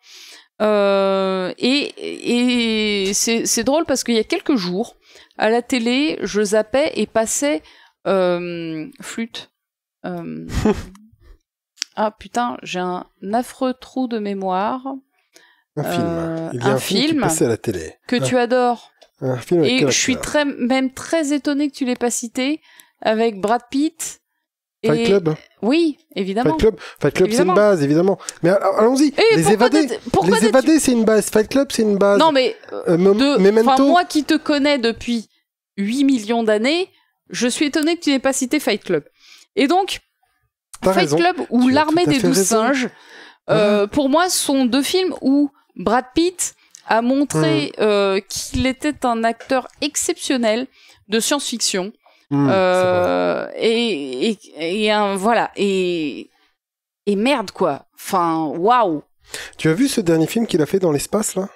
Non, Ad Astra. Ad Astra. non, non. Très très bien. Je l'ai. Oh, D'accord. oh, c'est bien. Tu me le recommandes? Bah, il faut aimer. Si t'aimes Planète, si t'aimes euh, l'espace, si t'aimes euh, Brad Pitt, au bout d'un moment, euh, arrête. Regarde Ad Astra, quoi. Ok. Voilà, je te le dis, je te le dis entre nous. personne nous écoute, évidemment. Voilà, l'armée des douze singes. Donc c'est pas un film de Brad Pitt, c'est un film de euh, Bruce Willis, mais Mhm. mais où il y a Brad Pitt dedans et c'est est un film sur un futur où un virus a décimé l'humanité Euh, et vraiment il est génial. Moi je l'adore. Il fut un temps, j'étais biologiste avant d'être Hmm. rien du tout. Hein, non, avant d'être euh, importante dans la société. dans euh, le YouTube game. Exactement. Voilà. Ah, avant d'être extraordinaire. guest star Voilà, sur avant, John avant, voilà. Euh, je, je fus biologiste un jour, et donc l'armée des douze singes est un film extraordinaire. L'avant-dernier film que je voudrais citer, c'est Mad Max Fury Road, parce que quand je suis allée au cinéma ce jour-là, je connaissais très bien les premiers films Mad Max, les trois premiers, je les aimais beaucoup. Mhm. Euh, mais dans ma gueule, je me suis pris un putain de de truc qui m'a fait me dire ah ouais d'accord, c'est ça le cinéma en fait. Oui, ça existe encore. Des mecs qui savent euh, filmer, qui savent avoir une photo, une choré, Voilà. euh, une- créativité, un, un- putain ouais d'accord, ok, ok mec, j'ai Ah, rien dit. C'est un film de cinéma où le scénar il est quand même un peu en retrait et en fait tout le reste fait que c'est quand même un des films numéro un? Ah ouais d'accord.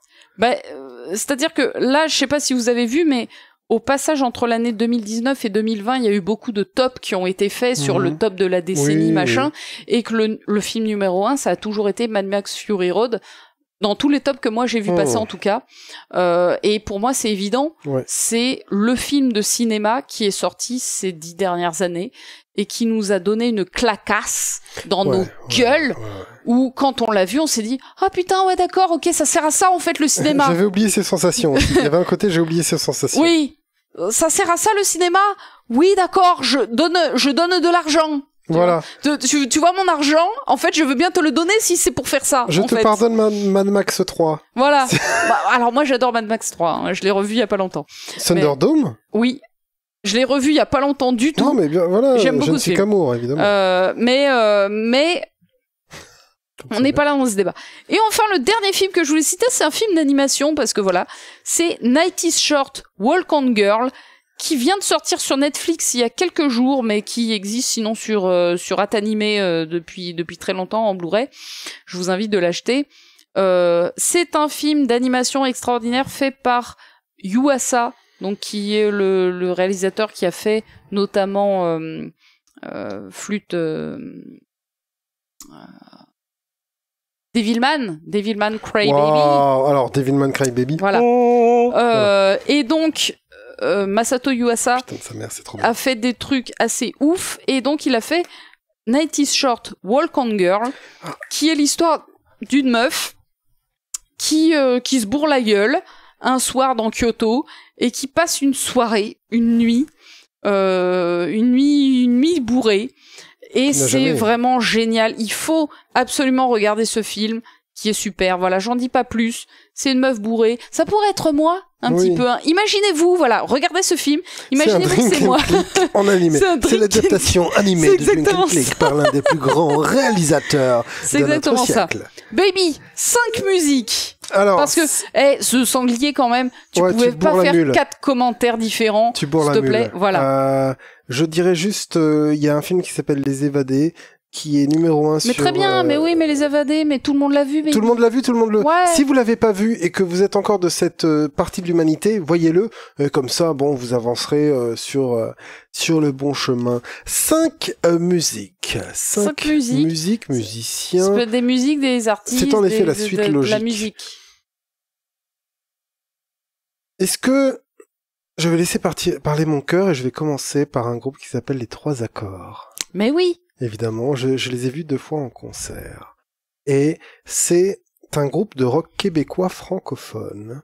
Et ce sont des mecs qui arrivent à faire des chansons qui te surprennent. Euh, la formation, et c'est un chanteur guitare, guitare basse et euh, batterie, donc quatre personnes. Et ce sont des gens qui arrivent à te faire des chansons d'amour sans dire je t'aime ou amour dedans. Ce sont des gens euh, qui arrive à être absurde tout en étant beaucoup plus cohérent et en faisant beaucoup plus de sens que tous les Woolsey de la Terre. Ah, moi j'en ai rien à voir. Ah, ça attaque. Et du coup, ce sont des gens qui peuvent te faire une des chansons d'amour qui m'a les plus touché, qui s'appelle Je me touche dans le parc. Mhm. Tu vois, je me touche dans le parc, les gens font toutes sortes de remarques alors que les policiers débarquent lorsque je me touche dans le parc. Et en fait, cette chanson-là qui a l'air euh, rigolote, c'est tout simplement un mec qui sort euh, d'un asile, du- du- d'un institut. Et en fait, la personne qui est restée là-bas, euh, qui était son amant, lui manque. Et du coup, il est redevenu tout à fait normal. Il peut sortir de l'institut, mais il se met à se toucher dans un parc pour être, pour retourner à l'institut Oui. et revivre avec cette personne. Et il préfère de loin être enfermé dans cet institut plutôt que le goût de la liberté qui est sans, sans son amant. Oui, oui, Et je trouve ça magnifique. Euh, ils ont fait des chansons comme ça qui sont bouleversantes et donc, euh, donc les trois accords, les trois accords, c'est aussi un peu ce groupe.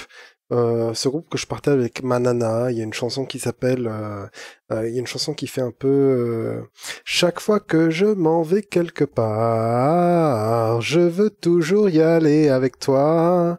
Si tu veux tester des choses bizarres, tu peux toujours le faire avec moi. Et du coup, cette chanson-là, euh, ben j'ai envie de la, la dédicacer à ma copine qui, qui écoutera peut-être ce podcast. Elle écoute ton podcast? Mais j'espère bien.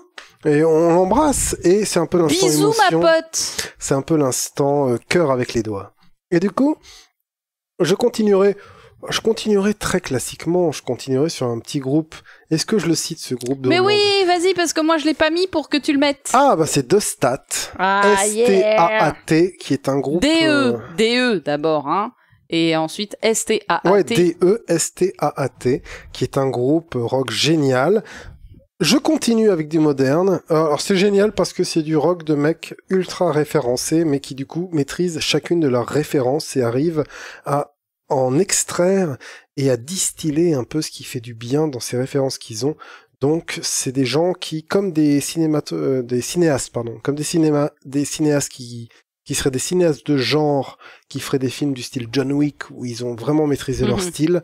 Là, c'est vraiment des musiciens qui ont maîtrisé leur style et ça fait très plaisir à entendre. Je vais continuer avec ce qu'on appelle le mass rock. Le rock and roll mathématique, hein, si tu veux aller par là. Ça s'appelle Totoro avec deux R.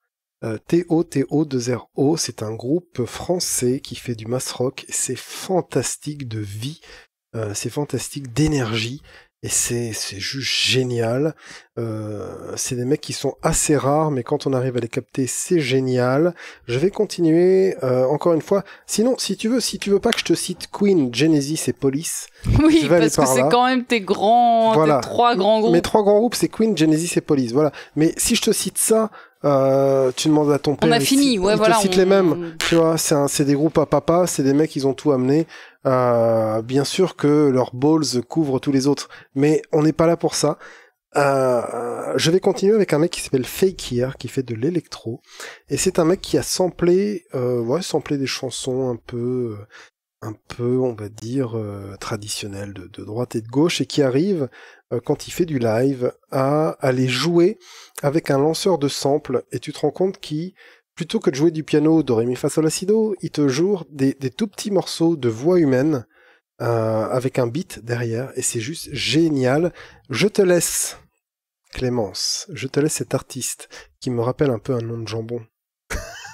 Dont je vais probablement parler. Tu vas parler de, ce, de cet artiste. Voilà. Donc si tu en parles, je n'en parle pas parce que c'est un peu ton groupe, ton, ton, ton Oui. que tu m'as fait découvrir à moi.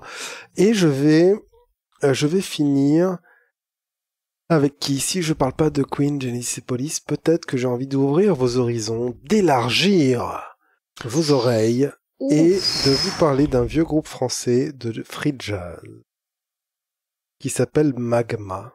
Oh bien, Et parce que, l'ai pas cité alors que si t'as envie un peu d'être à la fois un homme avec un whisky dans un euh, dans un fauteuil en cuir, mais aussi euh, quelqu'un qui euh, peut euh, bondir au-dessus des palissades, j'ai envie de te dire, écoute Magma. Magma et leur dernier album qui s'appelle Zaïs, que j'ai que j'ai en CD officiel évidemment.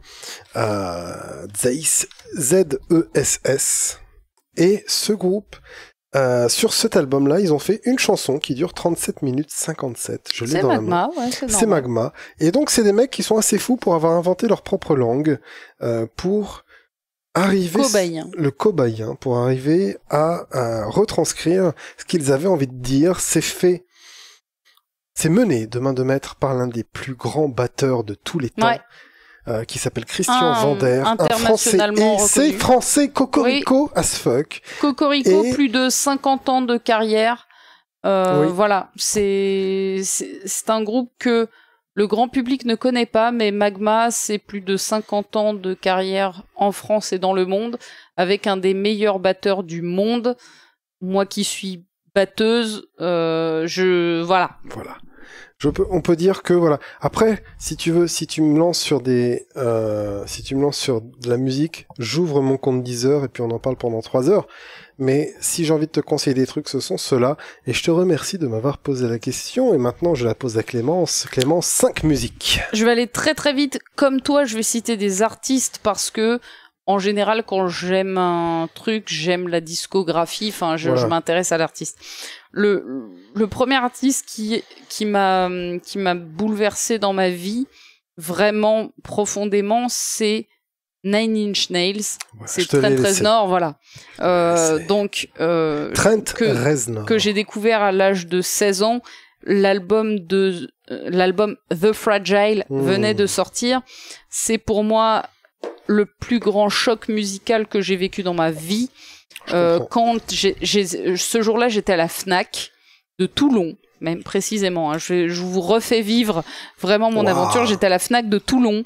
J'ai mis un, un casque sur mes oreilles. J'avais lu quelques jours avant un article sur cet album qui venait de sortir dans le magazine Élégie, qui est le magazine gothique.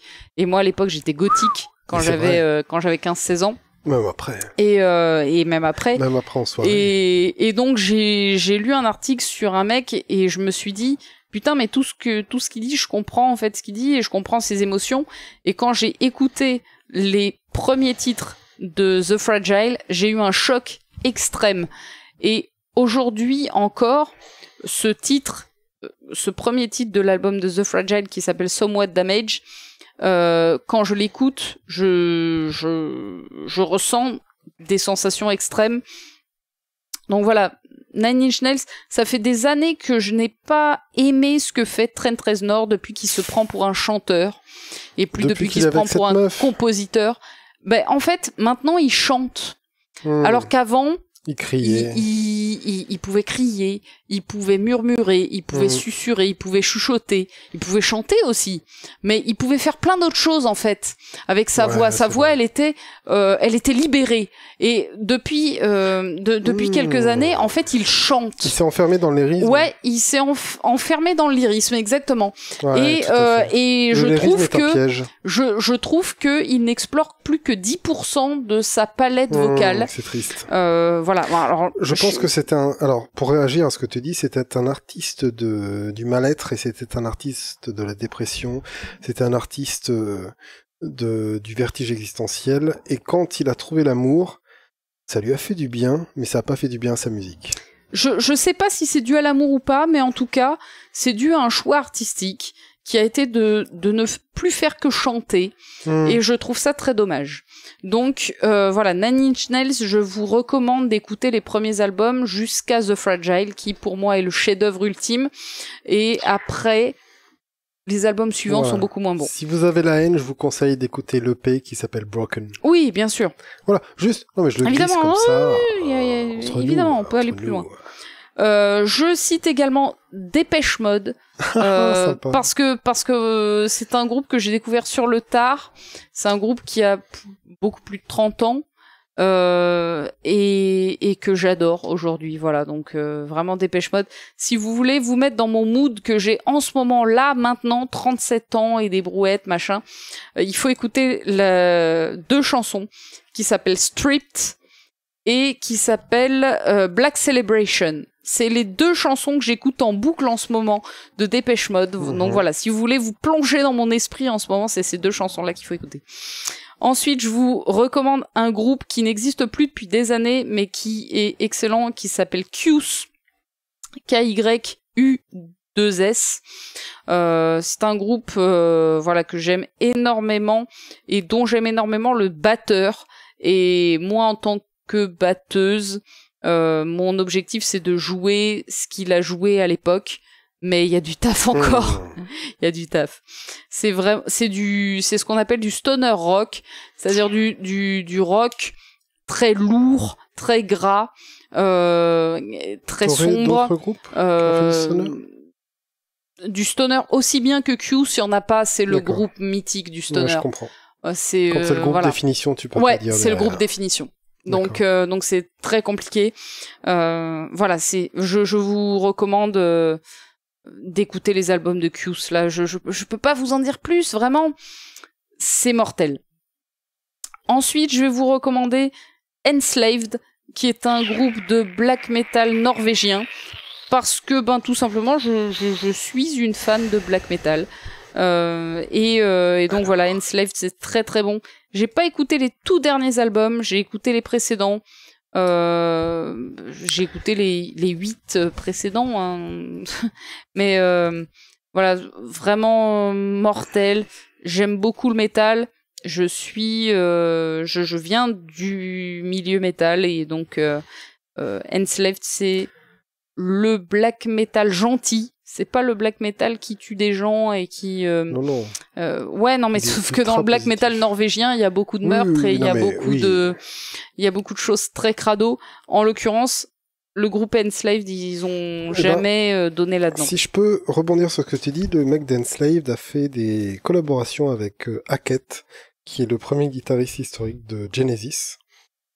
Et euh, il est chanteur sur l'une des chansons de Genesis reprises dans un album de Steve Hackett. Et ouais, ok, ce mec qui se pose là, il arrive, euh, bonjour, euh, vous me connaissez pas, mais en fait non, j'ai le niveau. Et c'est vraiment waouh. Ah oui, eh bien écoute, bienvenue, bienvenue monsieur. Et quand j'ai app- j'ai appris cette euh, jonction entre Enslaved et, euh, et Genesis, je me suis dit allez, allez va, va, merci, euh, gros bisous.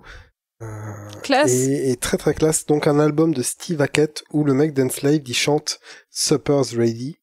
Ouais Supper's Ready qui est ma chanson préférée de tous les temps. Hein, voilà. Supper's Ready. mais ça ça m'étonne pas parce que euh, ce, ce mec est vraiment génial Ouais. je l'ai vu en concert ouais, plusieurs fois.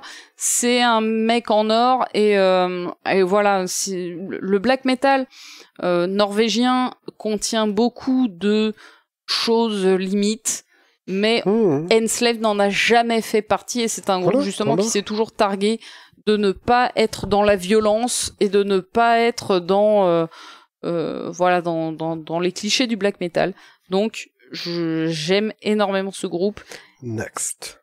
et Next, le tout dernier groupe que je veux citer, c'est c'est un homme, c'est Bayonne, voilà. Donc euh, Ah. tu, tu le disais tout à l'heure, tu parlais de jambon. Euh, voilà, c'est un mec qui s'appelle voilà, qui s'appelle Roger Sellers de son vrai nom euh, et qui euh, alors en fait il faut le voir en concert enfin il faut Ouais, le voir en tout court mais faut l'écouter et tout ça mais en concert c'est encore quelque chose de différent parce que on se rend compte qu'il sait jouer tous les instruments. Ouais. Ouais, guitare clavier batterie euh, basse euh, tout tout tout tout tout tous les instruments. Il les joue il les sample et ensuite derrière ben il en fait un concert et donc quand tu le vois en concert il va d'un instrument à l'autre parce qu'il y a plein d'instruments en fait posés sur la scène il va d'un instrument à l'autre il les sample en direct et au fur et à mesure il construit ses morceaux et c'est un truc vraiment extraordinaire euh, voilà c'est un mec qui est qui est super euh, Mais ces chansons sont folles. ouais c'est et mon- enfin moi ça me donne un bonheur incroyable Ouais, ouais. j'ai j'ai j'ai écouté beaucoup de black metal comme je le disais mais ça m'apportait pas forcément beaucoup de positivité dans ma vie Non, mais Bayonne, c'est et Bayonne c'est de la positivité en barre Et c'est, si tu veux, tu parles du fait qu'il sait jouer tous les instruments, mais il sait aussi tous les modifier avec les bons équipements électroniques. oui oui enfin ce Ce ce mec, est, un génie euh, Et il sait chanter. Oui, oui, ah oui, oui, c'est génial. Donc il y a deux albums aujourd'hui. Il faut absolument les écouter. Et Drastic faut... Measures, Ouais, c'est le deuxième. Le premier, c'est euh... j'ai zappé aussi. ça commence par un P. Euh... Je vais chercher. C'est pas Permutation, ça c'est Amon Tobin. Aaron Tobin Euh, qui est très bon aussi. Un petit. Mais voilà, c'est un mec qu'il faut taper si vous voulez Bayonne sur YouTube. Voilà, là vous êtes là, vous faites une petite pause parce que le, cet épisode est bientôt fini. On va en faire un deuxième derrière pour Oh, comme continuer. tu gères, baby. Et euh, mais je t'avais dit que je sais le faire maintenant. C'est Primitives. Voilà, je me disais que c'était avec un Vous P. tapez Bayonne, B, comme la ville de Bayonne en fait. Mais en Ouais. fait, ça vient de sa rue. En Amérique, la rue de Bayonne, voilà, euh, au Texas ou je sais pas quoi. Au Texas. Au Texas. Au Texas. Merci tout à fait. baby. Euh, merci, vraiment merci pour Texas. Merci, Vraiment. quoi. Et vous tapez Bayonne live et là vous tombez sur un moustachu qui paye pas de mine Ouais, et il, ressemble met- à rien, hein, mais Voilà, il il, vous met- c'est un génie. Voilà, c'est ce mec, c'est un peu comme euh, oh là, je vais faire un non non, je vais faire une une, une comparaison de mec bourré, je vais pas la faire celle. euh, voilà, c'est un peu comme ces meufs un peu moches qui vous emmènent au 7 siècle. Euh, euh, je l'ai fait quand même. Alors, c'est un petit moustachu, il arrive, il touche tous ses instruments et au bout de 30 secondes, t'es au paradis et tu te dis Ouais. attends, qu'est-ce qui s'est passé? Est-ce que t'as appliqué une pédale de piano à ce- une pédale de guitare à ce piano? Pourquoi est-ce que t'as autant d'instruments euh, et machin? Et et tu deviens complètement fou. Ce mec, je sais pas comment il fait, mais il le fait et c'est jouissif. Donc euh, voilà. Euh, merci, merci d'avoir euh, conseillé ça, Clémence. Oui. Écoutez Bayonne vraiment. Alors euh, The Sanglier, j'ai envie de te dire que quand même, t'as pas posé la question des cinq séries télé. Non, non, Parce non, que- tu c'est très bien. Oui, non, non, mais je vais surtout pas y répondre. Mais euh, en l'occurrence, j'aurais été beaucoup plus inspirée par ce sujet. Et également des cinq romans, euh, Ouais. pareil. Euh, donc on va s'arrêter là, mais voilà, t'as raté des trucs. Mais justement, Alors, on s'arrête pas là. Baby- On s'arrêtera à la fin de cette Ch- vidéo. Chien ou chat? Chien. Pareil. Chien as fuck. Le, Voilà, on le peut y aller lait, vite. Avant ou après les céréales Le lait après, les céréales. Moi, je prends pas de céréales, donc euh, je ne réponds Non, mais pas. si, y a- si on me met un flingue sur la tête et qu'on me dit, tu prends des, prends des céréales, prends des céréales, tu vois, dans la guerre du Vietnam, t'es dit marrant, t'es dit marrant, et, euh, et qu'on me dit, euh, toi, t'en faire bon de céréales, euh, pendant la guerre du Vietnam, évidemment que je mettrai les céréales et ensuite le lait, parce que je suis quand même quelqu'un d'assez civilisé, de la même manière que je mets, euh, le, euh, L'eau avant ou après le dentifrice l'eau avant le dentifrice. Avant? Je mouille ma brosse à dents, je mets un peu de dentifrice Mais il faut pas. dessus. Non, il faut pas. Ça, je te le dis, baby, je te l'annonce, c'est officiel, c'est l'union euh, franco-bucco-dentaire euh, Bazar, tu vois, l'UFSBD. Ouais, je vois bien. euh, Frident. Voilà, Frident. voilà. Euh, L'eau, c'est après. Mais pourquoi? Parce que si tu mouilles ta brosse à dents avant, elle devient molle et du coup, quand tu brosses, ça brosse pas bien. Mais tu la mouilles après, elle est Non, mais moi, j'ai bossé pendant plusieurs années en cabinet je sais, de je sais, je sais, quand tu étais euh, jeune. Voilà. Euh, mais il y a un moment, Non, mais tout est mouillé, tout est dentifricé dans la bouche. Non, mais c'est pas pareil, vraiment. Il faut. Oh, là, euh, tu remets mon monde en question. ouais, est-ce que, mais est-ce que je ce ne suis monde comme ça. existe? Je suis un peu, je suis un peu en Slip mode ou Matrix. caleçon ou les autres? Je suis plus caleçon boxeur. Euh, voilà, je suis pour. euh, Parce qu'il faut préciser de façon claire et concise. hein. Alors c'est boxer. Ok, Boxer, boxer, boxer. ok. Moi, je suis euh, culotte. hein, oui, voilà. toi tu culottes. Ouais, Est-ce que t'es pas, t'es pas genre oh culotte? Non, t'es culotte. Ouais. Voilà, c'est ça, c'est ça, c'est. Enfin, tu Culotte coton à l'ancienne. Bah, Le confort petit d'une bateau. femme. Petit bateau. Et Petit voilà. bateau. Tout est dit, tout est dit. Voilà. tout est dit. Alors, moi, je suis boxeur. eh, euh, as-tu Attention, alors attention. Moi, je suis boxeur nul. Je suis boxeur CA, boxeur euh, Primark. Je pense que si tu ah, mets. Primark, Primark, c'est J'en ai jamais sale. acheté. J'en ai jamais acheté. Oui, voilà. Donc, s'il te plaît. mais. CA, tu vois le truc nul. C'est-à-dire que au bout d'un moment, si c'est pour mettre, euh, voilà. Pff, Qu'est-ce qu'on en a à branler? Euh, Si je suis avec une meuf, euh, il part en même temps que le pantalon. Donc au bout d'un moment. Eh, on ne veut rien savoir, baby. Là, mais tu, nous, vrai. tu nous racontes des choses qu'on ne veut pas quand un savoir. mec, quand un mec met sa virilité sur des Cli- Calvin Klein, je sais qu'il a un problème. Et tu, as, et tu as bien raison. Alors, Des talents cachés. des talents cachés. Alors, j'avais envie de répondre toi, pour toi. toi. Non, mais justement, Ah. j'avais envie de qu'on pas s'intervertisse un pas- peu les rôles. Tes talents cachés à toi. Je te dirais que c'est de préparer des très bons cakes. Ah, je fais des très bons cakes à l'aubergine. voilà. Ça, tu es, tu es un préparateur de cakes de folie. Je tu fais es- aussi un riz forestier que tu n'as pas goûté depuis longtemps. Mais Oh, je ne l'ai pas goûté, mais par contre, ton rhum arrangé. euh, Oui, j'ai quelques talents il- culinaires. Il, défonce un peu la gueule. Hein, euh, il, est, il est gentil, quoi. Tu vois. Il... Je sais pas si on va aller très bien loin lo- après De cette toute vidéo. façon, on, est- en est à la moitié. Hein. Je veux dire, pour des moments, euh, quand la moitié est faite, il te reste que l'autre moitié. Quoi. Euh, Ah pas si mal, je devais parler de mes propres talents cachés, je pourrais te dire que je peux toucher mon index et mon auriculaire euh, sans faire d'effort. Ah merde, moi j'y arrive pas. Regarde-moi. Ah, c'est dégueulasse. C'est dégueulasse, hein Ouais, mais moi j'y arrive pas. Et tu sais comment ça s'appelle? Euh, faites-le chez vous, faites-le à la maison. voilà, vous, vous prenez votre pouce et vous le mettez sur votre... Vous faites une euh, corne du diable, euh, un peu voilà, comme si vous, alliez à un concert de métal. Tu vois, Voilà. métal, les cornes du diable, et en fait, les cornes du diable, vous les touchez entre elles. Ah, c'est dégueulasse. Moi, Moi, je peux pas, j'y arrive pas. Eh bien, regarde ça. tu mets tes doigts comme ça. C'est pas très vidéo, euh, très- pas très. Non mais comme ça. Tu prends tes doigts écartés. Non mais comme ça. Tac. Je ne comprends pas ce que tu essaies de me dire. Ah oui, d'accord. Ah oui, bah d'accord. Toi, tes doigts sont droits. Oui. Moi, mes index ne sont pas droits. C'est un trait familial. Alors que moi, quand, tu- quand je fais comme ça, quand je... Oh, tends mais tu es mes- le démon Moi, je tends mes bras. Mais tu es le diable Ils se touchent au niveau des coudes. Ah, c'est dégueulasse Ouais, c'est dégueulasse. Alors que t'as des seins et tout, comment tu fais? Euh, C'est dégueulasse. Elle a ses coudes qui se touchent pendant que Mais- ses poignets se touchent. Et les bras tout droits. Oh, c'est aussi dégueulasse que moi avec mes doigts. Ouais, mais sauf que moi j'ai ma, ma propre dégueulasserie. Ah Mes, mes bras ils sont droits, Et donc quand tu mes quand mains elles ça, sont elles sont vers le haut, Non, non, mais- enfin mes paumes elles sont vers le haut et mes coudes ils se touchent. elle peut toucher ses coudes et ses poignets en même Bras temps. tout droit, voilà. En, en tendant les bras. Ouais, En tendant tout les bras. tout droit. Ah, ah là là là, Ouais, non, fais pas comme ça. et tout, euh, voilà. C'est c'est pas humain. Chacun De sa la même manière que sur ces Ouais, et ça moi je peux pas. Voilà, toi tu as peut-être 2 cm d'espace entre ton petit doigt Ouais. et ton machin, et moi j'ai, euh, Ça ça se touche. moi ça se touche, et euh, dans moins de deux ans, je souffrirai certainement de beaucoup d'arthrite. Merci euh, les gènes. Alors, euh, C'était The Sanglier. Est-ce que moi j'ai des talents cachés d'après toi, baby? Pour moi ton talent caché, c'est un peu cette énergie que tu arrives à fournir et, et à transmettre quand tu fais des vidéos sur cette chaîne, évidemment. Ah, t'as Euh, zéro idée, quoi, d'accord. Oui, oui, si. Ton talent caché, c'est une euh, un talent au karaoké.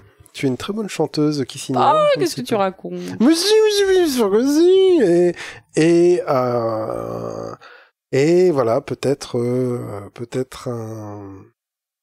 Non, mais vraiment en tant que talent caché qu'on voit pas souvent, c'est euh, c'est ce talent artistique, musico-artistique qui euh, qui, on va dire, effleure dès qu'il peut, qui euh, qui voilà.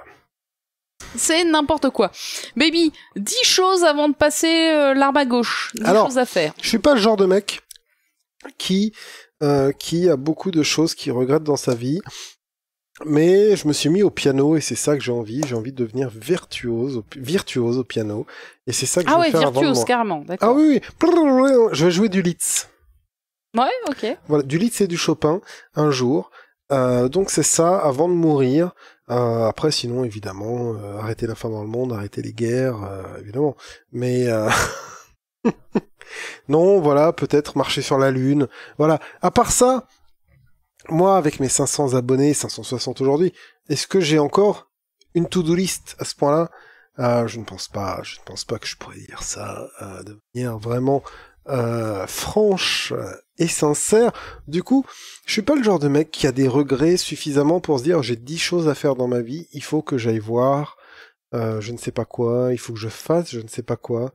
Euh, Voilà, je me suis mis au piano parce que c'était une de mes frustrations. Maintenant, j'ai plus 10 choses à faire avant de passer l'arme à gauche. Un jour, de toute façon, je passerai l'arme à gauche, ça me va très bien. Et, euh, et comme j'ai tellement peu si tu veux, d'influence là-dessus et de, de, de choses à dire à propos de ça.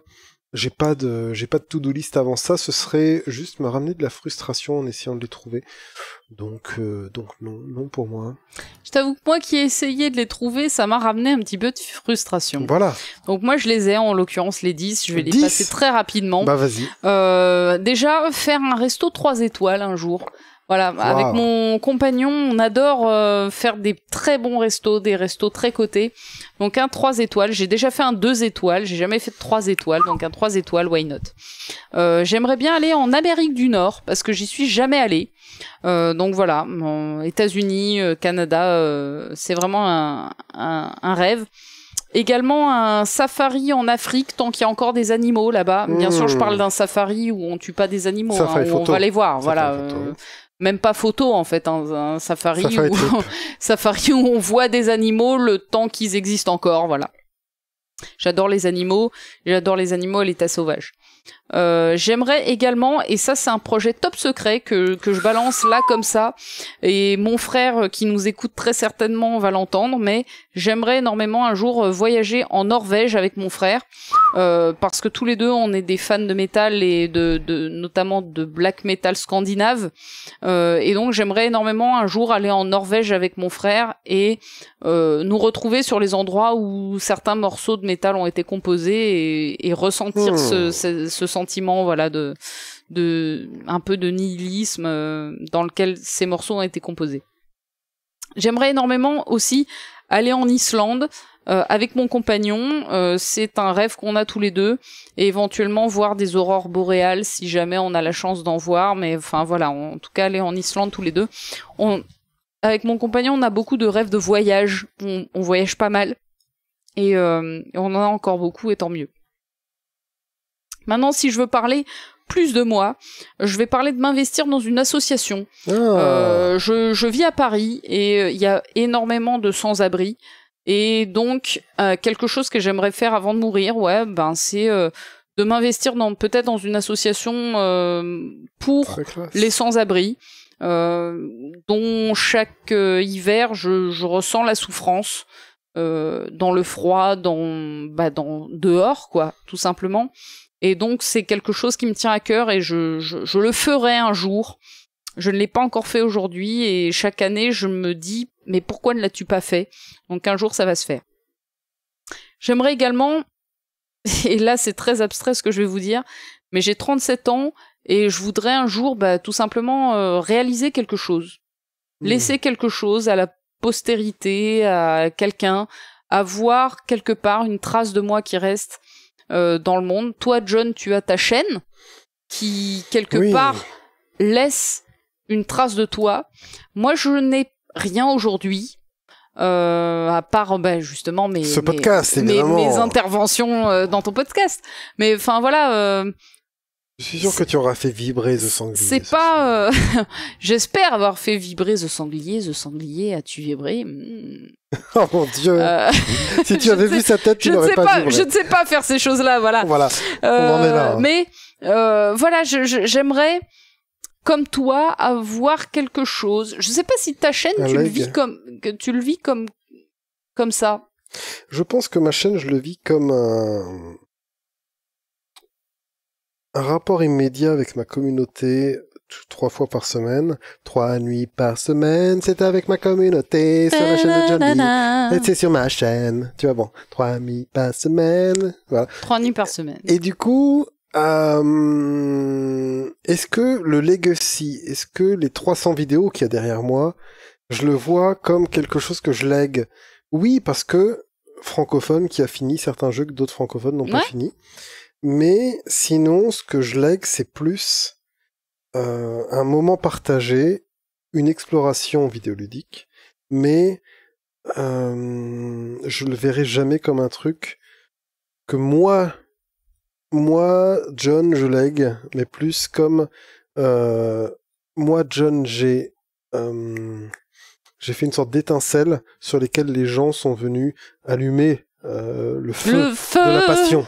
Allumé. Et le Le feu. feu. Voilà, c'est vraiment comme ça que je le vois, et je pense que si j'étais vraiment qu'un mec tout seul qui parle devant une boîte, je serais juste un fou. Tu vois? J'ai des vues, des- j'ai travaillé avec des mecs qui avaient des chaînes YouTube, ils avaient 5 vues au bout de 300 vidéos sur chaque vidéo, et et je les voyais vraiment comme des mecs qui parlaient tout seuls devant leur PC, quoi. Mm. Et pour moi, c'est une sorte de folie.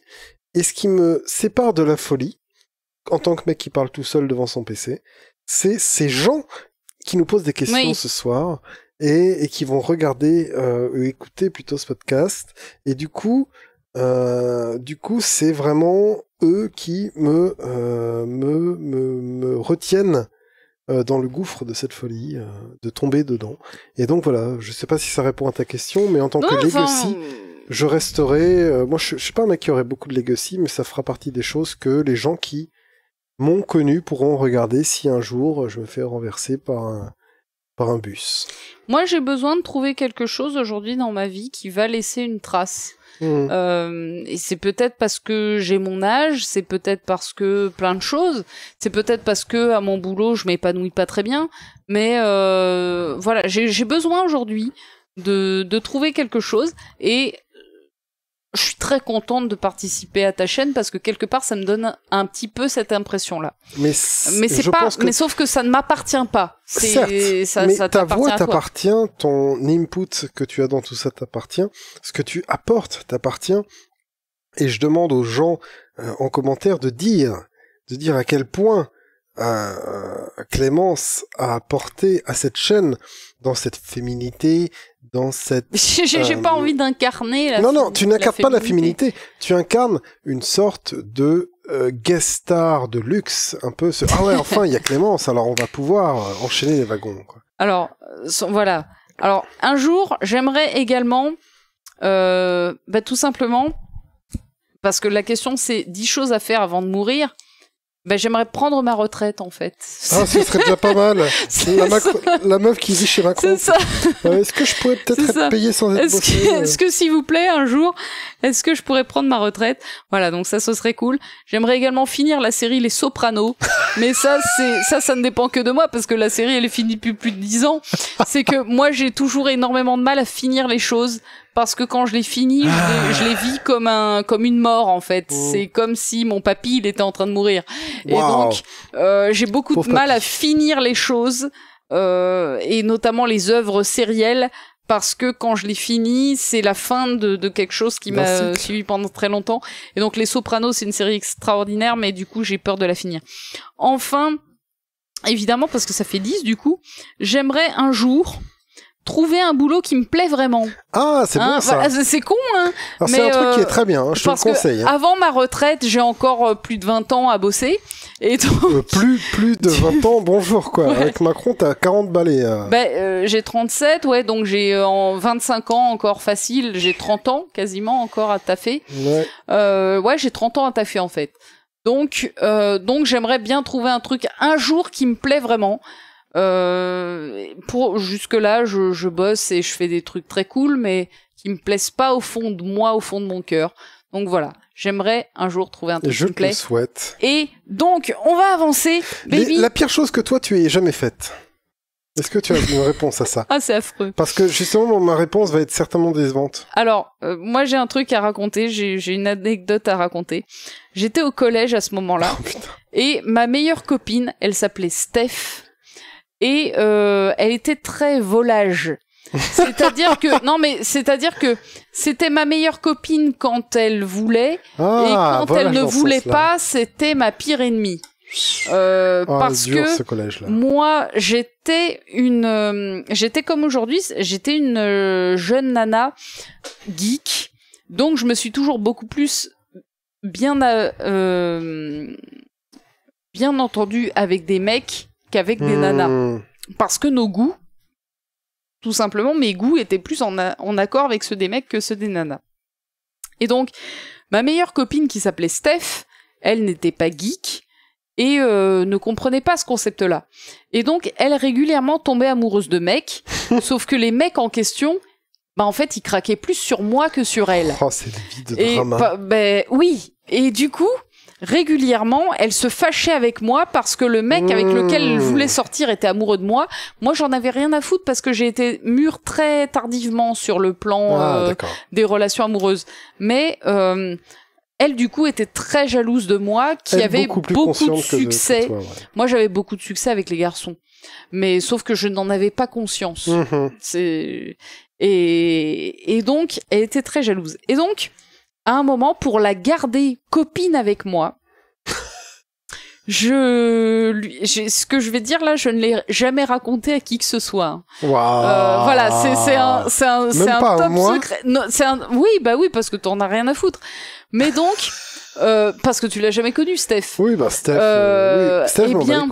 Je lui ai inventé un mec qui était amoureux d'elle et qui m'appelait moi pour me le dire. Et donc, Putain. je lui dis, et ce mec il s'appelait Fabien. Je sais pas pourquoi Fabien. Mais, et donc, euh, je lui, je lui parlais, je lui disais, ouais, hier Fabien il m'a appelé, il m'a dit qu'il était fou amoureux de toi. Et donc, Oh, ma copine, Dieu. du coup, restait pote avec moi plutôt que de m'insulter et de rejoindre les autres mais meufs qui sûr, me bien détestaient sûr, bien parce sûr. que les, les mecs étaient globalement un peu attirés par moi. T'es juste euh, rentré dans son jeu et, Ouais.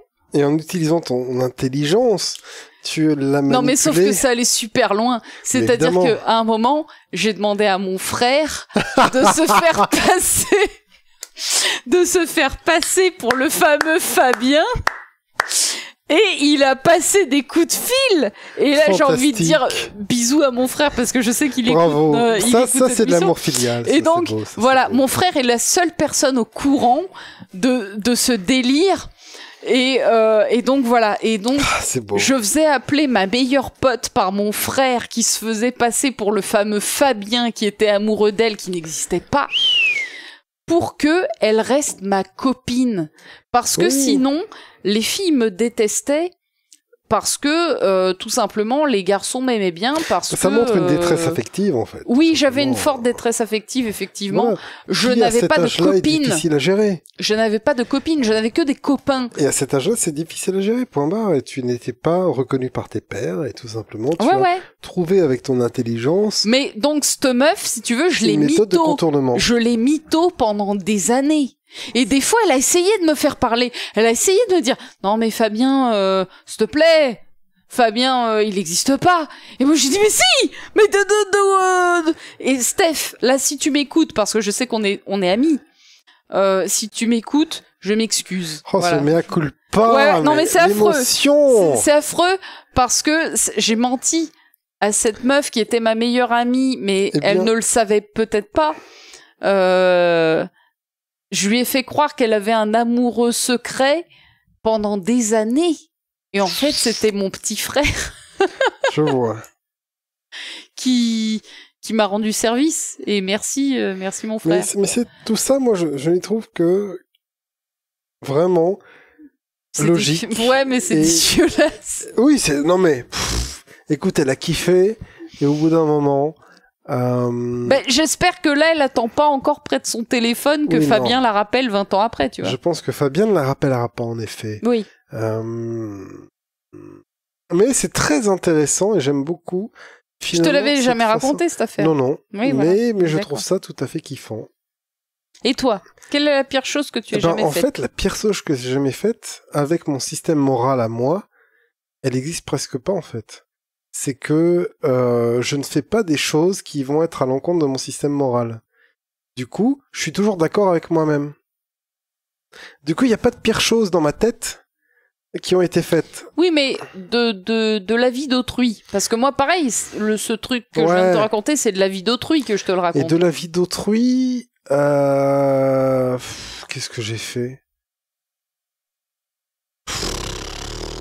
Euh, J'ai dû tchatcher des filles pour finir euh, dans des situations un peu plus agréables qu'elles avaient commencé, mais il n'y a pas vraiment de pire truc dans ma vie. Oui, c'est jamais bien méchant. Euh, ouais, je veux dire, j'ai pas de gros euh, braquage. Ah, tu vois, j'ai pas, je suis pas proxénète. J'ai pas de, euh, ah, non, non, non, vraiment de, la pire chose que j'ai jamais fait. La pire chose, attends, tu me demandes quelle est la pire chose que j'ai jamais fait? Parce que moi je découvre les questions, toi tu les as préparées, moi je les découvre. Et du coup, la pire chose que j'ai jamais fait, euh...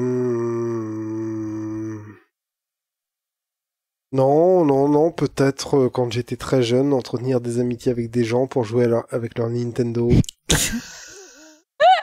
Ou Donc, c'était avaient lié aux jeux vidéo. Ou... Donc tout va bien. Ouais, ce genre de conneries, tu vois, de de de de, de choses là, mais peut-être euh, quelque chose que j'ai jamais fait. Euh, la pire chose, la pire décision que j'ai jamais fait, c'était euh, ouais, ouais non, je sais pas.